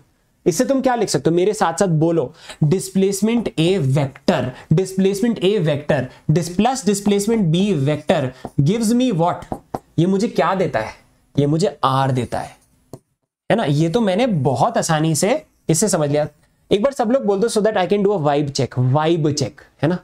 वाइब चेक नहीं वाइब वाइब एक चीज़ होती है। आजकल का नया टर्म है वाइब चेक कि यार, मैं जो पढ़ा रहा हूँ, वो तुम्हें तुम्हारे दिमाग में घुस रहा है, नहीं घुस रहा? ये चीज़ समझ में आ गई? तुमने एक डिस्प्लेसमेंट लिया, फिर तुमने दूसरा डिस्प्लेसमेंट लिया। तुम्हारा रिजल्टेंट तो यही है ना? तो तुमने क्या बोला? A plus B is equals to R A vector plus B vector ये वेक्टर सम है। है ना? तुम ये नहीं बोल सकते। तुम ये नहीं बोल सकते कि R is equals to A plus B ये गलत है। ये गलत स्टेटमेंट है, क्योंकि तुमने बोला, इसकी लेंथ इज़ इक्वल्स टू इसकी लेंथ प्लस इसकी लेंथ नहीं। इसकी और इसकी तो इससे ज़्यादा होगी ना। ये तो ट्राइंगल का बेसिक रूल होता है। ये बात समझ में आ गई? तो बहुत अच्छे हो तुम। बहुत अच्छे हो तुम। अब कोई मुझे बोलता कि, नमो सर, मेरे को एक कंफ्यूजन है। मैंने ये ए लिया ए डिस्प्लेसमेंट लिया। फिर मैंने ये बी डिस्प्लेसमेंट लिया। फिर मैंने ये सी डिस्प्लेसमेंट लिया। यहाँ पे तो मेरा नेट डिस्प्लेसमेंट ज़ीरो हो गया। भाई, सही बोला तू, सही बोला। अगर सेम ऑर्डर में तो यार यही इनिशियल है, यही फाइनल है। नेट डिस्प्लेसमेंट ज़ीरो है तो तू डिस्प्लेसमेंट अपने आप को बोल। ए डिस्प्लेसमेंट लिया मैंने। प्लस बी डिस्प्लेसमेंट लिया मैंने, इसको देख देख के, इसको देख देख के बी डिस्प्लेसमेंट लिया मैंने, फिर सी डिस्प्लेसमेंट लिया मैंने। क्या मिला मुझे? क्या मिला मुझे? वहीं पर आके रुक गया मैं। साला zero it's a null vector it's a null vector but actually अगर देखा जाए A plus B vector C को एल्जेब्रिकली यहाँ पे लेके जाओ माइनस सी वेक्टर एक्चुअली कायदे से आर क्या था? आर ये था। इसका ऑपोजिट तो था। आर ये ऑपोजिट वेक्टर है ना? ठीक है? तो ये नल वेक्टर ये बेसिकली कुछ नहीं है डिस्प्लेसमेंट का आईक्यू है। अब इसको ये लोग, इसको ये लोग इतना ऑनर करते हैं, फालतू में। Do you know the triangle law आज के बाद कोई आएगा ना तो उसको मन में थप्पड़ मार देना। Do you know the triangle law ऐसे you know what is the triangle law मुझे डेफिनेशन पता है। ये घटिया डेफिनेशन है इसकी, घटिया डेफिनेशन तुम्हें वीक बनाती है ये definition when two vectors of the same type है ना displacement displacement when two vectors of the same type are represented in magnitude and direction by two sides of a triangle taken in a taken in a certain order है ना in a certain order then the resultant is the third side taken in the opposite order है ना ये ऐसा है तो ये ऐसा है है ना ये एंटी क्लॉकवाइज है तो ये क्लॉकवाइज है ठीक है समझ गए मेरी बात ये ये है ट्राइंगल लॉ इसी को अंग्रेज़ी में लिखा है जो जो चीज़ मैंने यहाँ पे इतनी आसानी से लिख दी उसी चीज़ को अंग्रेज़ी में लिखा है is this clear is this clear बच्चों है ना? अब मैं तुम्हें कुछ नहीं बोलूँगा तुम अपने दिमाग को यूज़ करना स्टार्ट करो भाड़ में जाओ भूल जाओ उस ट्राइंगल लॉ को। अब मैं तुम्हें एक चीज़ बताता हूँ। ध्यान से देखना। मैं कुछ ऐसे रैंडमली बना रहा हूँ। मैं कुछ रैंडमली बना रहा हूँ। एक्स एल ओ ओ नहीं ओ, ओ नल वेक्टर लगता है इसको पी कर देते हैं ठीक है? अब बताओ इसमें से कौन सा रिजल्टेंट वेक्टर है? तुम्हारा आईक्यू चेक कर रहे हैं। बताओ इसमें से कौन सा रिजल्टेंट वेक्टर है? बताओ ये ट्राइंगल बना दिया मैंने, है ना? ट्राइंगल बना दिया। बताओ कौन सा रिजल्टेंट वेक्टर दिमाग लगाओ, थोड़ा तो दिमाग लगाओ साला, थोड़ा तो लगाओ, है ना? देखो ना, मैंने क्या बोला था तुम्हें? ये एक रूट है हाँ तुम ऐसे और ऐसे चले गए। एल और पी में, है ना? हाँ यार, ये इनिशियल दिख रहा है। तुम ऐसे गए और ऐसे गए, तुम यहाँ पे पहुँचे। अल्टीमेटली इनिशियल और फाइनल ये रिजल्टेंट होना चाहिए भाई। ये रिजल्टेंट होना चाहिए। तो तुम क्या लिखोगे? X vector is equals to L vector plus P vector इसीलिए मैंने कुछ अलग ए बी सी वो नहीं दिया था। ए बी और आर में तुम उल्टा सीधा बोल देते अगर मैं इंटरचेंज कर देता तो। तुम्हें आता है? आता है ना? हटाओ। फिर से, दिमाग, भूल जाओ सब कुछ। फिर से। मैंने ये बनाया। मैंने ये बनाया। मैंने ये बनाया। है ना? अब देखो, मैं इसकी आगे की कहानी भी बता रहा हूँ तुम्हें। मैंने ये बनाया। ठीक है? मैंने इसको बोला ए वेक्टर मैंने इसको बोला बी वेक्टर मैंने इसको बोला सी वेक्टर मैंने इसको बोला डी वेक्टर ये मेरा इनिशियल था, ये मेरा फाइनल था। अब मैं बोलता हूँ इनिशियल से फाइनल ये मेरा रिजल्टेंट वेक्टर हो जाएगा। देखो, समझो इसको। अब मैं क्या बोलूँगा? ए डिस्प्लेसमेंट लिया मैंने, फिर बी डिस्प्लेसमेंट लिया मैंने, फिर सी डिस्प्लेसमेंट लिया, खचैक खचैक खचैक खचैक डी डिस्प्लेसमेंट लिया मैंने। हुआ क्या भाई? इतना लेने की क्या ज़रूरत थी? तू तो डायरेक्टली यही आ जाता। इज़ इक्वल्स टू आर ये सही लिखा है तुमने? वेक्टर सब में लिखा है सही। ये नहीं लिख सकते थे ए की लेंथ प्लस बी की लेंथ प्लस सी की लेंथ प्लस डी की length is equals to R की लेंथ वो घटिया पा होता। वेक्टर में तुम ये कर सकते हो। वेक्टर में तुम ये सब कर सकते हो। और अगर कभी ऐसे खचाक खचाक खचाक खचाक खचाक सारे सेम ऑर्डर में होते तो सबका एडिशन ज़ीरो होगा, क्योंकि डिस्प्लेसमेंट ज़ीरो हो रहा है। तो डिस्प्लेसमेंट आईक्यू को लेके जाओ। कभी भी तुम्हें कोई रेक्टेंगल लॉ पॉलीगन लॉ कुछ भी बोले, क्या ले, क्या तुम्हारे मन में चलना चाहिए डिस्प्लेसमेंट का आईक्यू वेक्टर का आईक्यू हम ऑसम है। okay under this under this scheme we can uh, learn two things. Under this law we learn two things two more things. How to find the angle between two vectors है ना? अब यार ये भी सीख लो। दो vectors के बीच में एंगल कैसे निकालते हैं? How to identify the resultant vectors ये दो चीज़ें आप सीखोगे। How how to find the resultant vector है ना? तो अब आप ये तो कर ही सकते हो ना। दो वेक्टर्स हैं उनके बीच का एंगल निकालना है है ना? हमेशा ध्यान रखना टेल से टेल मिलानी होती है। ताल से ताल मत बोलना, क्योंकि ताल हम उसमें यूज़ करते हैं। ताल इज़ फॉर म्यूज़िक एंड ताल से ताल मिला जो गाना था, उसके लिए हम वेव से वेव मिलाते हैं उस टाइम पे। वो बाद में बोलते हैं वेव्स में, है ना? ठीक है? ना कई सारे बच्चे वो थोड़े से मिसगाइड हो जाते हैं, कोई प्रॉब्लम नहीं है। टेल से टेल मिलाओ या हेड से हेड मिलाओ? सर से सर, है ना? समझ गए मेरी बात? है ना? समझ गए? या तो सर से सर मिलाओ या पैर से पैर मिलाओ। आपका ऐसे एंगल निकलता है, ठीक है? अब यार ये देखो, ध्यान से देखना। अब यार यहाँ पे ये इसका टेल है। ये इसका टेल है। आप एक वेक्टर में क्या कर सकते हो बच्चों? मेरे सुनना। आप एक चीज़ कर सकते हो वेक्टर में। आप वेक्टर को उठा के यहाँ कर सकते हो। आप रोटेट नहीं कर सकते वेक्टर को ठीक है? आप इसको उठा के यहाँ पे रख सकते हो। अब अगर आपको इन दोनों का है ना? इन दोनों का आपको ए, वो करना है वेक्टर एडिशन करना है। सॉरी वेक्टर एडिशन नहीं। इनके बीच में एंगल निकालना है आपको। एंगल निकालना है तो आप क्या करोगे? आप ए को ऐसे एज इट इज़ इसको इसको मूव करो और बी को मूव करके यहाँ पे लगा दो। बी को मूव करके यहाँ पे लगा दो। ठीक है? आई होप आपको ये बात समझ में आ गई। आपने दोनों के टेल्स को मिला दिया विदाउट रोटेशन रोटेशन अलाउड नहीं है। रोटेशन नहीं कर सकते। तुम ट्रांसलेशन कर सकते हो। वेक्टर में तुम ट्रांसलेट कर सकते हो। इसको ऐसे ऐसे रोटेट नहीं कर सकते। इसको यहाँ पे आके ऐसे रख दिया। है ना? खचा खचा हाथी की चाल चल सकते हो उसमें। ठीक है? इसको भी तुम ऐसे रोटेट नहीं कर सकते। इसको तुम ऐसे ऐसे ऐसे ऐसे ना? डायरेक्शन सेम रहना चाहिए। ऐसे ऐसे रोटेट कर रोटेट नहीं कर सकते तुम। ठीक है? हाथ ऐसे रहेगा तो ऐसे ही रहेगा। यहाँ पे ले गए, यहाँ पे ले गए, यहाँ पे ले गए। ऐसे ना? समझ गए? ये उंगली नहीं मूव करनी चाहिए। तुम ऊपर नीचे कैसे भी हो जाओ, ये रोटेट नहीं होना चाहिए। तो ये आपने बेसिकली इसको ऐसे रख दिया। फिर छोटा वाला एंगल देख लो। बड़ा वाला एंगल नहीं, छोटा वाला एंगल है ना? फिर आप ये छोटा वाला एंगल देख लो। ये तुम्हारा होगा angle between A and B ठीक है, बस ये याद रखना, ये याद रखना। अब तुम बोलोगे कि, अब तुम बोलोगे, नहीं सर नहीं सर, मैं तो हेड से हेड मिलाना चाहता हूँ, ठीक है? ये तो पुल फोर्सेस हो गए ना, दो फोर्सेस को पुल कर रहे हो, है ना, ये एंगल पे। अब इसी वेक्टर को मैंने ट्रांसलेट करके यहाँ पे रख दिया होता, अगर, है ना, ये भी ए वेक्टर कहला जा सकता है। और ये, इस बी को मैंने यहाँ कर दिया, है ना बी को मैंने ऐसे कर दिया, ठीक है, देखो ध्यान से। ठीक है, इसको ध्यान से देखो, है ना? तो आप देख पा रहे हो है ना? यार, ये बी वेक्टर हो गया, ये ए वेक्टर हो गया, ये भी इसको ऐसे भी लिख सकते थे। हेड टू हेड भी सेम एंगल मिलेगा। हेड टू हेड भी सेम एंगल मिलेगा। तो यार, ये भी बी वेक्टर होगा। और यार, ये भी ये भी एंगल ये ऑपोजिट वाला ही एंगल हो जाएगा, ये भी थीटा ही हो जाएगा। दिस और दिस या तो हेड टू हेड मिला दो या टेल टू टेल मिला दो। बेटर होता है टेल टू टेल मुझे ज़्यादा कंफर्टेबल लगता है और आई थिंक दुनिया को सबसे ज़्यादा कंफर्टेबल लगता है टेल टू टेल अब यार, ये सब पढ़ने की ज़रूरत नहीं है। छोटा एंगल लेते हो, देखो। ज़ीरो से 180 डिग्रीज वाला एंगल लेते हो। मतलब अगर दो वेक्टर दे रखे हैं sir this is the angle this is the vector tail से टेल ज्वाइन कर दिया। ये वाला मत करना। ये वाला करना। छोटा वाला। है ना? आगे बढ़ते हैं। अब everyone identify the resultant vectors अब मुझे नहीं पता। है ना? मैं तुम्हें, मैं नेम करने वाला हूँ कुछ भी। L M N O P L M X ठीक है? मेरे मन में जो भी चल रहा है। एल वी है ना?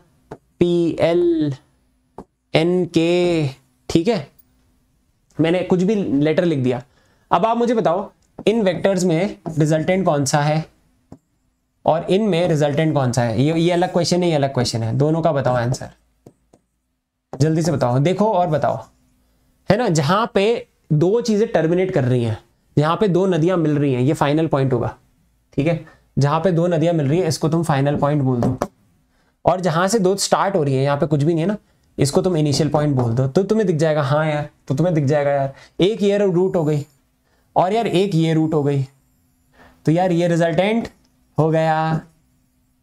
मतलब क्या बोलोगे? L vector plus V L displacement plus V displacement plus P displacement plus L displacement plus N displacement मतलब तुम इतना ही डिस्प्लेस हुआ ना is equals to resultant displacement ठीक है, यहाँ पे भी दिख रहा है है ना? ये आई हो गया, ये एफ़ हो गया। नदियाँ मिल रही है, नदियाँ स्टार्ट हो रही है, ठीक है? एक रूट ये हो गया, एक रूट ये हो गया। तो आप देख सकते हो एक्स प्लस एन तो यार ये हो गया रिजल्टेंट एल और के रिजल्टेंट ठीक है? क्लियर है? आगे बढ़ते हैं. एल एन के लिख दिया था लोगों ने. मतलब मस्त हो तुम. मतलब तुम समझ रहे हो. तुम्हें वाइब सम, वाइब मिल रही है. नल वेक्टर देखो भाई. नल नल वेक्टर सारे एक ही ऑर्डर में ना? सारे एक ही ऑर्डर में. अगर मैं इसको बोलता हूँ ए बी सी वेक्टर तो मैं क्या बोलूँगा? मैं बोलूँगा मैंने ए डिस्प्लेसमेंट लिया। ऐसी चीज़ों में हमेशा डिस्प्लेसमेंट मैंने बी डिस्प्लेसमेंट लिया, मैंने सी डिस्प्लेसमेंट लिया, मैं कहीं का नहीं रहा। मैंने, मैं कहीं का नहीं रहा। यही मेरा इनिशियल था, मैं यहीं पर आके, ठीक है? यहीं पर आके, यहीं पर खत्म हो गया मैं, ठीक है? इसमें भी अगर आप देखोगे, ये एक लूप है। तुम यहीं पर आ गए ना फाइनली तो तुम बोल सकते हो A B C D E F है ना? ये इसका वेक्टर सम ज़ीरो होगा। सारे सेम ऑर्डर में ना तो इसमें तुम क्या बोलोगे? A plus B plus C plus D plus E plus F is equals to zero but vector sum but vector sum ठीक है? खाली ये नहीं वेक्टर सम इनका ज़ीरो होगा, क्योंकि A displacement plus B displacement plus D displacement plus E displacement plus F displacement is zero displacement इसमें बस कोई भी एक पॉइंट से स्टार्ट कर लो, इसको इनिशियल बोल दो, यही फाइनल हो जाएगा। ठीक है displacement displacement I Q vector I Q best जल्दी से, यहाँ पे बताओ एंगल कितना है? एंगल कितना है? What is angle between P and Q and Q and R ठीक है पी एन क्यू के बीच का एंगल कितना है? है ना, जल्दी से बताओ, यहाँ पे आपको शायद दिख नहीं रहा होगा। ये वेक्टर यहाँ पे ऐसे है, ये वेक्टर यहाँ पे ऐसे है, ये वेक्टर यहाँ पे ऐसे है। आपको निकालना है पी और क्यू के बीच में पी और क्यू के बीच में। तो पी को आप यहाँ पे ले आओ। पी वेक्टर आप पी वेक्टर को यहाँ पे उठा के ला सकते हो और ये 90 डिग्री हो जाएगा तो हाँ। ये आपका आंसर हो गया 90 डिग्रीज ये पहला आंसर हो गया। Answer one is 90 degrees Q and R Q and R ठीक है, खचा खचा खचा one answer two 135 degrees 135 degrees 135 degree कैसे हुआ? नमो सर 135 डिग्री कैसे हुआ? मैं तुम्हें बताता हूँ 135 डिग्री कैसे हुआ। आर को एज इट इज़ रहने दो। आर को एज इट इज़ रहने दो। ठीक है आर को एज इट इज़ रहने दो। ये इसकी टेल है। इसको मूव करो। ये जो क्यू था ना इस क्यू को मूव करके यहाँ पे लगा दो। इस क्यू वेक्टर को यार यहाँ से ऊपर ले जाओ। तो यार ये 45 डिग्री था, ये तो नहीं चाहिए था। ये क्या हो जाएगा? 135 डिग्री तो दिख गया हाँ। नेक्स्ट क्वेश्चन अरे यार, ये हेड टू हेड है। ये हेड टू हेड है। बताओ क्या होगा इसका आंसर 143 डिग्रीज ये 37 दे रखा है। F1 और F2 के बीच में angle is 143 degrees but like I set कई लोगों को पसंद नहीं होता। कई लोगों को टेल टू टेल ही पसंद होता है। तो वो बोलेंगे, मुझे तो टेल टू टेल मिलाना है सर मुझे मज़ा नहीं आया इसमें। कोई नहीं, इसको यहाँ पे खसकाओ। इसको यार यहाँ पे तुमने खसकाया। ठीक है, ये खसक गया। इसको तुमने आगे खसका दिया। इसको तुमने ऐसे भी बना सकते थे। फिर तुम बोल सकते थे हाँ यार, ये 143 डिग्रीज है। तुम्हें जैसे निकालना है, वैसे निकालो। है ना? जैसे तुम्हें खुशी मिले। तुम्हारी श्रद्धा। ठीक है? Last question of the day last question of the day very good question थोड़ा हाई लेवल क्वेश्चन है। जेई एडवांस का question I think so please verify कर लेना. आई थिंक जे एडवांस में आया हुआ है. जेई एडवांस में आया हुआ क्वेश्चन है शायद. I am not sure about the year but I think it has come please कोई वेरीफाई करके बता देना जे एडवांस में कौन से साल में आया था. पूर्णिमा मैम गला सूख गया है. आपके पास वहाँ पे है क्या वो गर्म पानी जो अपना होता है ना? एक मिनट बच्चों. बिल्कुल सूख गया है, खत्म हो गया है. हमें क्या ध्यान रखना पड़ता है अपनी वोकल कॉर्ड्स का? ठीक है? चलो, बहुत ज़्यादा बोलना पड़ता है. जल्दी जल्दी इसको करो। ऑसम क्लास ठीक है। इसको पहले करेंगे मेथड वन मेथड टू तुम्हें शायद समझ में नहीं आएगा एकदम से। मेथड टू पे तुम टाइम स्पेंड करना, अच्छी नींद आएगी रात को। मेथड वन मेथड वन करेंगे अपन ट्राइंगल लॉ से। ट्राइंगल लॉ नाम का है। हम ट्राइंगल लॉ नहीं समझते। The resultant of two vector मतलब इसको हम करेंगे डिस्प्लेसमेंट से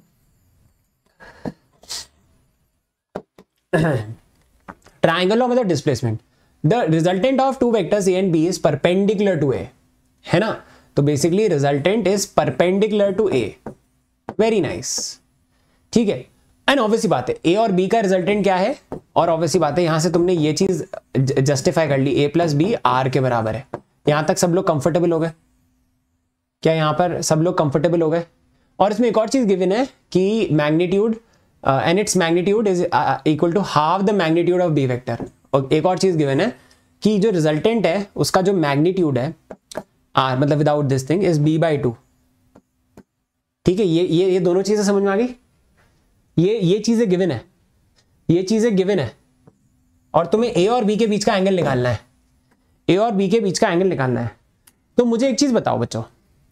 इससे एक ट्राइंगल बना सकते हो और इससे ये पता चल गया एक राइट एंगल ट्राइंगल है। देखो ए बी और आर का एक ट्राइंगल बनेगा ही ट्राइंगल लॉ के हिसाब से। एक ट्राइंगल बनेगा, जिसमें आर और ए 90 डिग्रीज होने चाहिए। समझ गए ना?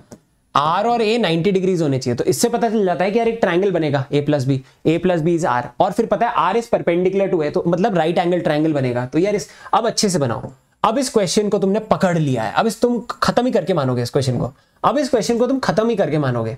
ठीक है? समझो। अब इस क्वेश्चन को तुम खत्म ही करके मानोगे। अगर फोर्स और ये बहुत अच्छा तरीका है। तो इसमें क्या है? तुम्हें पता है कि ये एक, एक राइट एंगल ट्राइंगल बनेगा। ये समझ में आ गया? ये ऐसा बनेगा एक राइट एंगल ट्राइंगल अभी तुमने कुछ डाला नहीं है इस पर बट अभी तुम्हें पता चल गया इन दोनों से कि यार हाँ यार। From these two I understood कि राइट एंगल्ड ट्राइंगल बनेगा। ये बना दिया तुमने। 90 डिग्री वाला बना दिया। Good good good good good good good सही है? अभी आएगा मज़ा। रुको रुको रुको। अब everyone is everyone enjoying enjoy तो कर लो ना अब तुम्हें क्या पता है कि आर आर ए के परपेंडिकुलर है, ठीक है? आर ए के परपेंडिकुलर है, ठीक है? तो तुमने क्या किया? इसको चलो आर बना देते हैं। इसको अपन आर बना देते हैं आर वेक्टर और ए वेक्टर ऐसे बना देते ए और बी ए और बी आर दे रहे हैं ए और बी आर दे रहे हैं, ठीक है? तो तुमने इसको बोल दिया, ये ए वेक्टर है। और तुमने बोला, यार, ये बी वेक्टर है। देखो हाँ समझ में भी आ रहा है। Now it make so much sense इस फिगर को देख के मैं बहुत खुश हूँ। ये ये स्टेट ऑफ़ माइंड आ गई। अब अगर तुम्हारी ये स्टेट ऑफ़ माइंड आ गई, अब इस स्टेट ऑफ़ माइंड के बाद अगली स्टेट ऑफ़ माइंड तुम्हारी होनी चाहिए ये वाली। अब इस स्टेट ऑफ़ माइंड पे लाने के लिए पहले तो तुमने ये बना दिया। वेरी गुड अब मैं एक चीज़ बोलना चाहता हूँ। मुझे निकालना है ए और बी का एंगल मुझे निकालना है ए और बी का एंगल मतलब मुझे ये वाला एंगल चाहिए। है ना? ये वाला एंगल चाहिए। दिख रहा है ना? ये वाला एंगल चाहिए। ठीक है? इट हैज़ टू बी और वैसे दिख भी रहा है कि ऐसे कुछ होगा। 180 डिग्री तो नहीं हो सकता। है ना? दिख रहा है ना? और तुम्हें ये दे रखा है यार ये बी बाई टू के बराबर है। ठीक है? कोई इशू नहीं है। कोई इशू नहीं है। ये वेक्टर्स है। अब चलो इनकी लेंथ लिख देते हैं बच्चों। अब इस स्टेट पे तुम ऐसे आओगे तो तुम्हें पता है यार ये लेंथ कितनी है? बी बाई टू है ना? ये लेंथ बी बाई टू है। और यार, ये लेंथ बी है। ठीक है, ये लेंथ बी है, ये लेंथ बी बाई टू है। किसी एक एंगल को थीटा ले लो। इस एंगल को थीटा ले लो। तो तुम्हारा आंसर क्या हो जाएगा? पाए माइनस थीटा है ना? यहाँ पे लिख लिख दो। ए और बी का है ना? Answer is pi minus theta pi minus या 180 डिग्रीज माइनस थीटा लिख दो यार। तुम डिग्री में ज़्यादा कंफर्टेबल है ना? 180 डिग्रीज माइनस थीटा इसको भी 180 डिग्री माइनस थीटा ही लिखो। है ना? इसको भी आप 180 डिग्रीज माइनस थीटा ही लिख दो। अब यार यहाँ पे क्या किया? ये तो बी कॉस थीटा होगा, ये बी साइन थीटा होगा। तो यार यहाँ से फटाक से लिख दिया तुमने। B sine theta B cos theta is A B sine theta is B by two तो sine theta is half theta is equals to thirty degrees मतलब very nice theta is equals to thirty degrees your answer is one fifty degrees अब ये answer क्यों था? ए और B के बीच का। ये आंसर क्यों था? मैं तुम्हें बताता हूँ ये आंसर क्यों था। ये आंसर क्यों था? अब सुनना मेरी बात ध्यान से। क्योंकि अगर ये बी है मेरी जान, अगर ये बी है है ना? तो तुम ए को यहाँ पे शिफ्ट कर सकते हो। ए को तो तुम यहाँ पे भी शिफ्ट कर सकते हो। और अब ये टेल टू टेल कनेक्ट हो गए। ए को तुमने यहाँ पे शिफ्ट किया। यार, ये एंगल कितना होगा? 180 डिग्रीज माइनस थीटा ही तो होगा। है ना? 180 degrees minus theta is your answer क्या तुमने इसको कॉन्कर कर लिया बच्चों? ये तुम सबको समझ में आ गया। दूसरा वाला मेथड मैं चाहता हूँ कि तुम डेवलप करो उससे तुम अच्छे एक इंसान बनोगे। You will become a much smarter इंसान with a much higher I Q I you guys ready दूसरा वाला थोड़ा चैलेंजिंग है at this stage of time but अगर मैं आपको ये ट्वेल्थ के एंड में बताता या ट्वेल्थ स्टार्ट uh, होने टाइम बताता है जब इलेवंथ पूरी कर लेते तुम बहुत सारी चीज़ प्रैक्टिस कर लेते तो तुम्हें आसान लगता। बट क्योंकि ये जेई में आया हुआ सवाल है तो उसकी बैंड बजानी है यार। ठीक है? ये बैंड बजानी है यार इसकी। बताओ I you guys ready band बजाने के लिए? अब इसको हम फोर्सेस से करेंगे। ये थोड़ा सा, ये थोड़ा सा और इंटरेस्टिंग है। इसको हम हम फोर्सेस से करेंगे। It is the road less travelled इसको कोई ऐसे बताएगा नहीं कोई ऐसे करेगा भी नहीं ट्रस्ट में कोई नहीं कर, कोई नहीं बताएगा। तुम देख लेना चेक कर लेना। हर कोई वैसे बता के नक्की कर देगा। बट ऐसे नहीं किया ना तो तुम्हें रात को नींद अच्छी नहीं आएगी। क्योंकि, देखो, तुमने ये सारी स्टेट्स ऑफ़ माइंड अभी अचीव करी। तुम यहाँ से यहाँ आए और फिर तुम यहाँ से अल्टीमेटली जब तुमने क्वेश्चन को क्रैक किया तो तुमने बोला हाँ यार आई हैव क्रैक दिस है ना? तुम्हारे ये स्टेट ऑफ़ माइंड आ गए ना, दो ऐसे दांत निकल रहे हैं तुम्हारे। अब यार ये स्टेट ऑफ़ माइंड की भी next level state of mind जहाँ पे ना तुम्हारे बाल भी खड़े हो जाएँगे। तो बट उसके लिए बहुत इंपॉर्टेंट है I need to have your attention एक बार लिख दो mentally present in the chat box एक बार सब लोग लिख दो mentally present in the chat box नहीं तो कमेंट्स में लिख देना, अगर कोई बाद में देखे तो। मेंटली प्रेजेंट चाहिए मुझे। अभी मेंटली प्रेजेंट लिखोगे तो मेंटली प्रेजेंट हो, नहीं तो नहीं हो। इसको लिखो जल्दी से। हाँ। ठीक है ठीक है ठीक है। इज़ दिस क्लियर किसी का चैट आ नहीं रहा है यहाँ पे। हाँ। मेंटली प्रेजेंट लिख दो भाई, नहीं तो स्टार्ट नहीं करेंगे। प्रेजेंट नहीं मेंटली प्रेजेंट लिखो प्रॉपर ठीक है? अब देखो the resultant of two vectors A and B is perpendicular to A तो यार, अब अब मुझे एक चीज़ बताओ, अगर तुम्हारे दो वेक्टर लग रहे हैं लेट्स से यार ये दो वेक्टर ऐसे लग रहे हैं, एक ए लग रहा है, एक बी लग रहा है तो उनका रिजल्टेंट कहीं बीच में ही आएगा ना? उनका रिजल्टेंट कहीं बीच में ही आएगा, ऐसे ही आएगा ना? उसका रिजल्टेंट तो कहीं यहाँ पे ही आएगा, वो कभी ए से परपेंडिकुलर नहीं हो पाएगा, नहीं हो पाएगा, वो इसके बीच में ही कहीं चला जाएगा। तो ए और बी के बीच में एक ऑप्टिव एंगल होना माँगता है, और ऑप्शंस को भी देखो। तो ए और बी ऐसे कुछ होने चाहिए। ये ए है। ए और बी ऐसे कुछ होने चाहिए, बोलो। ए और बी ऐसे कुछ होने चाहिए कि उनका रिजल्टेंट कि उनका रिजल्टेंट कहीं यहाँ पे आ जाए और परपेंडिकुलर टू ए हो जाए, है ना? तो तुम्हें कोई ऐसे खींच रहा है, तुम्हें कोई ऐसे खींच रहा है तो तुम, पहले ये चीज़ समझ में आई कि ऐसा कुछ होगा। फिगर अच्छा नहीं बनाओगे तो तुम समझ नहीं पाओगे इस क्वेश्चन को। इस क्वेश्चन को अब मैं क्रैक करना चाहता हूँ फोर्सेस के साथ। तो अब मुझे समझ में आ गया, अब मैं इसको पूरे को मिटा रहा हूँ और ये बहुत इंपॉर्टेंट है, इसको इतने से में सॉल्व करेंगे और तुम्हें मज़ा आएगा इसमें। तो मैंने बोला, यार, एक बॉडी पे फोर्सेस लगा रहा हूँ मैं। ये बहुत इंटरेस्टिंग चीज़ है, ध्यान से सुनना। मैंने उस पर एक फोर्स लगाया ए फिर मैंने उस पर एक फोर्स लगाया बी मैंने उस पर एक फोर्स लगाया बी है ना 90 डिग्री से ज़्यादा एंगल है? बोलो। है ना, जल्दी से बताओ। 90 डिग्री से ज़्यादा एंगल है? क्या यही है? यही सिचुएशन होगी कुछ? तभी रिजल्टेंट बीच में आएगा तो कोई यहाँ से खींच रहा है, कोई यहाँ से खींच रहा है तो ए के परपेंडिकुलर रिजल्टेंट लग रहा है। है ना? अब दिस इज़ इक्विवेलेंट टू इसका रिजल्टेंट क्या आता है? अब ये बहुत इंपॉर्टेंट है, समझना। दो फिगर बनाऊँगा, क्योंकि नहीं तो तुम्हें समझ में नहीं आएगा। नहीं तो तुम्हें समझ में नहीं आएगा हो क्या रहा है। इसका रिजल्टेंट यहाँ पे ऐसे लग रहा है। है ना? ये, ऐसे लग रहा है। 90 डिग्रीज टू ए। ए के डायरेक्शन से 90 डिग्रीज, ऐसे ना? ऐसे लग रहा है। ये बात समझ में आ रही है? या तो ये लगाओ या ये लगाओ। या तो ये लगाओ या ये लगाओ और ये b बाई टू है। क्या ये बात समझ में आ गई? या तो ये दोनों फोर्सेस लगाओ या ये रिजल्टेंट लगाओ। दिस और दिस पहले ये बात समझ में आ गई? ए परपेंडिकुलर भी है और इसका b बाई टू भी है। सब कुछ लिख दिया मैंने। ये दोनों फिगर यही चीज़ बता रही है फोर्सेस में, कि मुझ पर एक फोर्स ए लग रहा है, एक फोर्स बी लग रहा है, और मैं ए के परपेंडिकुलर जा रहा हूँ। ए के परपेंडिकुलर जा रहा हूँ। बात समझ में आ रही है? मज़ा आ रहा है? जल्दी से बताओ। मज़ा आ रहा है? अब तुम चलो मान लो कि यार ये एंगल थीटा है, और तुम्हें ए और बी के पीछे एंगल ही निकालना ना तो ये थीटा है, और यार ये ये 90 डिग्रीज है। तो तुम्हें पता है कि तुम्हारा आंसर क्या है? Angle between A and B will be theta 90 degrees plus theta ये तुम्हारा आंसर है। इस बॉक्स को ध्यान रखना। है इस बॉक्स के बारे में इसको भूलना मत। 90 प्लस थीटा हमें थीटा निकालना है। आई यू गैस रेडी अभी सबसे किलर स्टेप आएगा। अगर तुम मेंटली प्रेजेंट हो तो मैं खत्म कर देता हूँ सवाल को। दो सेकंड में कर दूँगा मैं तो खत्म। दो सेकंड में। B cos theta is B by two बस। हो गया। Cos theta is half theta is to sixty degrees answer is to one fifty degrees कैसे किया मैंने ये? इसको समझना बहुत ज़रूरी है। अब मैं तुम्हें बताता हूँ। एक्चुअली बी को जब तुम तोड़ोगे, अब मैं मैं बोलना चाह रहा हूँ कि यार बॉडी यहाँ पे जाएगी। मतलब एक्स में कोई फोर्स नहीं होना चाहिए। एक्स में कैंसिल हो जाना चाहिए। तो बी का एक कंपोनेंट ए को मारेगा और बी का दूसरा कंपोनेंट उसको लेके जाएगा। तभी ये यहाँ पे जाएगा रिजल्टेंट ठीक है? इसका मतलब तुमने क्या किया? इस दोनों चीज़ों को समझना।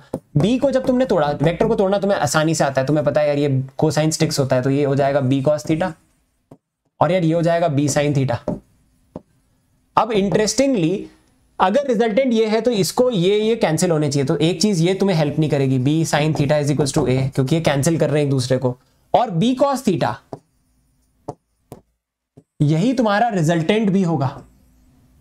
Is equals to R which is equals to B by two तो यार यहाँ से तुम आसानी से निकाल सकते हो कि कॉस थीटा हाफ़ है। थीटा तुम्हारा 60 डिग्रीज है। तो तुम्हारा आंसर 150 डिग्रीज है यू आर डन ठीक है? Thank you so much everyone this was about today's class इसको ध्यान से देख लेना।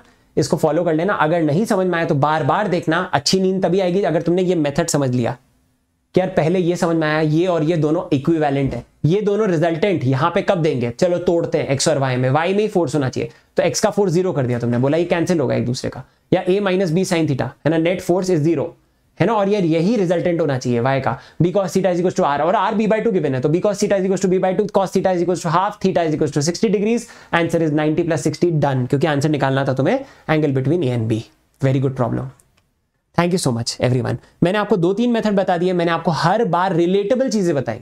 कोई भी ऐसी बुकिश चीज़ नहीं थी, अभी तक तुम्हें लग नहीं रहा होगा कि तुम वेक्टर पढ़ रहे हो। आई एम वेरी श्योर अगर तुमने फॉलो किए वन टू थ्री लेक्चर्स ये मैं तुम्हें कॉन्फिडेंटली बता सकता हूँ, क्योंकि तुम हिंदी में पढ़ रहे हो, ये वर्ल्ड का बेस्ट कंटेंट पढ़ रहे हो तुम वेक्टर्स का। I can be so sure about it क्योंकि मैंने सारा कंटेंट पहले से देख रखा है।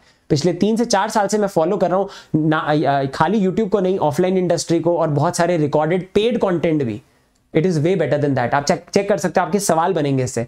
जेपीपी में कल आना, कल जो हमारा सेशन हो रहा है प्लीज़ अंडरस्टैंड हमारा जो जीएलडी अभ्यास सॉरी जीएलडी अभ्यास का जो सेकंड है, उस पर उसको ज़रूर अटेंड करना। अगर आप मेरे से और इंटरेक्ट कर सकते हो, करना चाहते हो टेलीग्राम को ज्वाइन कर लेना। अगर आप हमारी टीम उड़ान के साथ पढ़ना चाहते हो तो डेफिनेटली अन अकेडमी के सब्सक्रिप्शन पे आ जाना, क्यों? क्योंकि ये इंडिया का बेस्ट रिज़ल्ट जनरेट करने वाली टीम है। इंडिया की नंबर वन टेक्नोलॉजी पर पढ़ाती है, जहाँ पे आप टीचर से बात कर सकते हो वॉइस कॉल फीचर ऑब्वियस बात है। इसमें सबसे ज़्यादा फीचर्स हैं। आज तक टेक्नोलॉजी मार्केट में इतने सारे फीचर्स आपको कभी भी एक एटेक प्लेटफॉर्म पे नहीं मिले जितने आपको इस प्लेटफॉर्म पे मिलेंगे।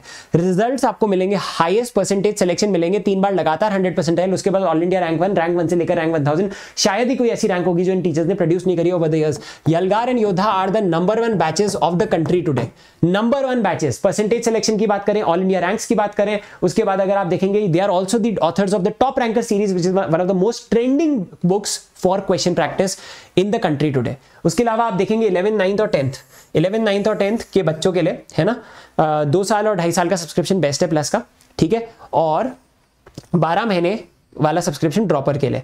बट आई वुड सजेस्ट कि आप आइकॉनिक लो. आइकॉनिक में कुछ एक्स्ट्रा चीज़ें मिलती है, जैसे किताबें आइकॉनिक मेंटर और वॉइस कॉल फीचर में प्रायोरिटी तो अगर आप अगर आप ये अफोर्ड कर सकते हो तो यार इसका प्राइस थोड़ा ज़्यादा होता है तो आप ये ले लेना। उड़ान कोड यूज़ करने का क्या फ़ायदा होगा? उड़ान कोड यूज़ करोगे तो आपको दोनों सब्सक्रिप्शन या कोई भी सब्सक्रिप्शन लोगे, आपको मैक्सिमम पॉसिबल डिस्काउंट मिलेगा।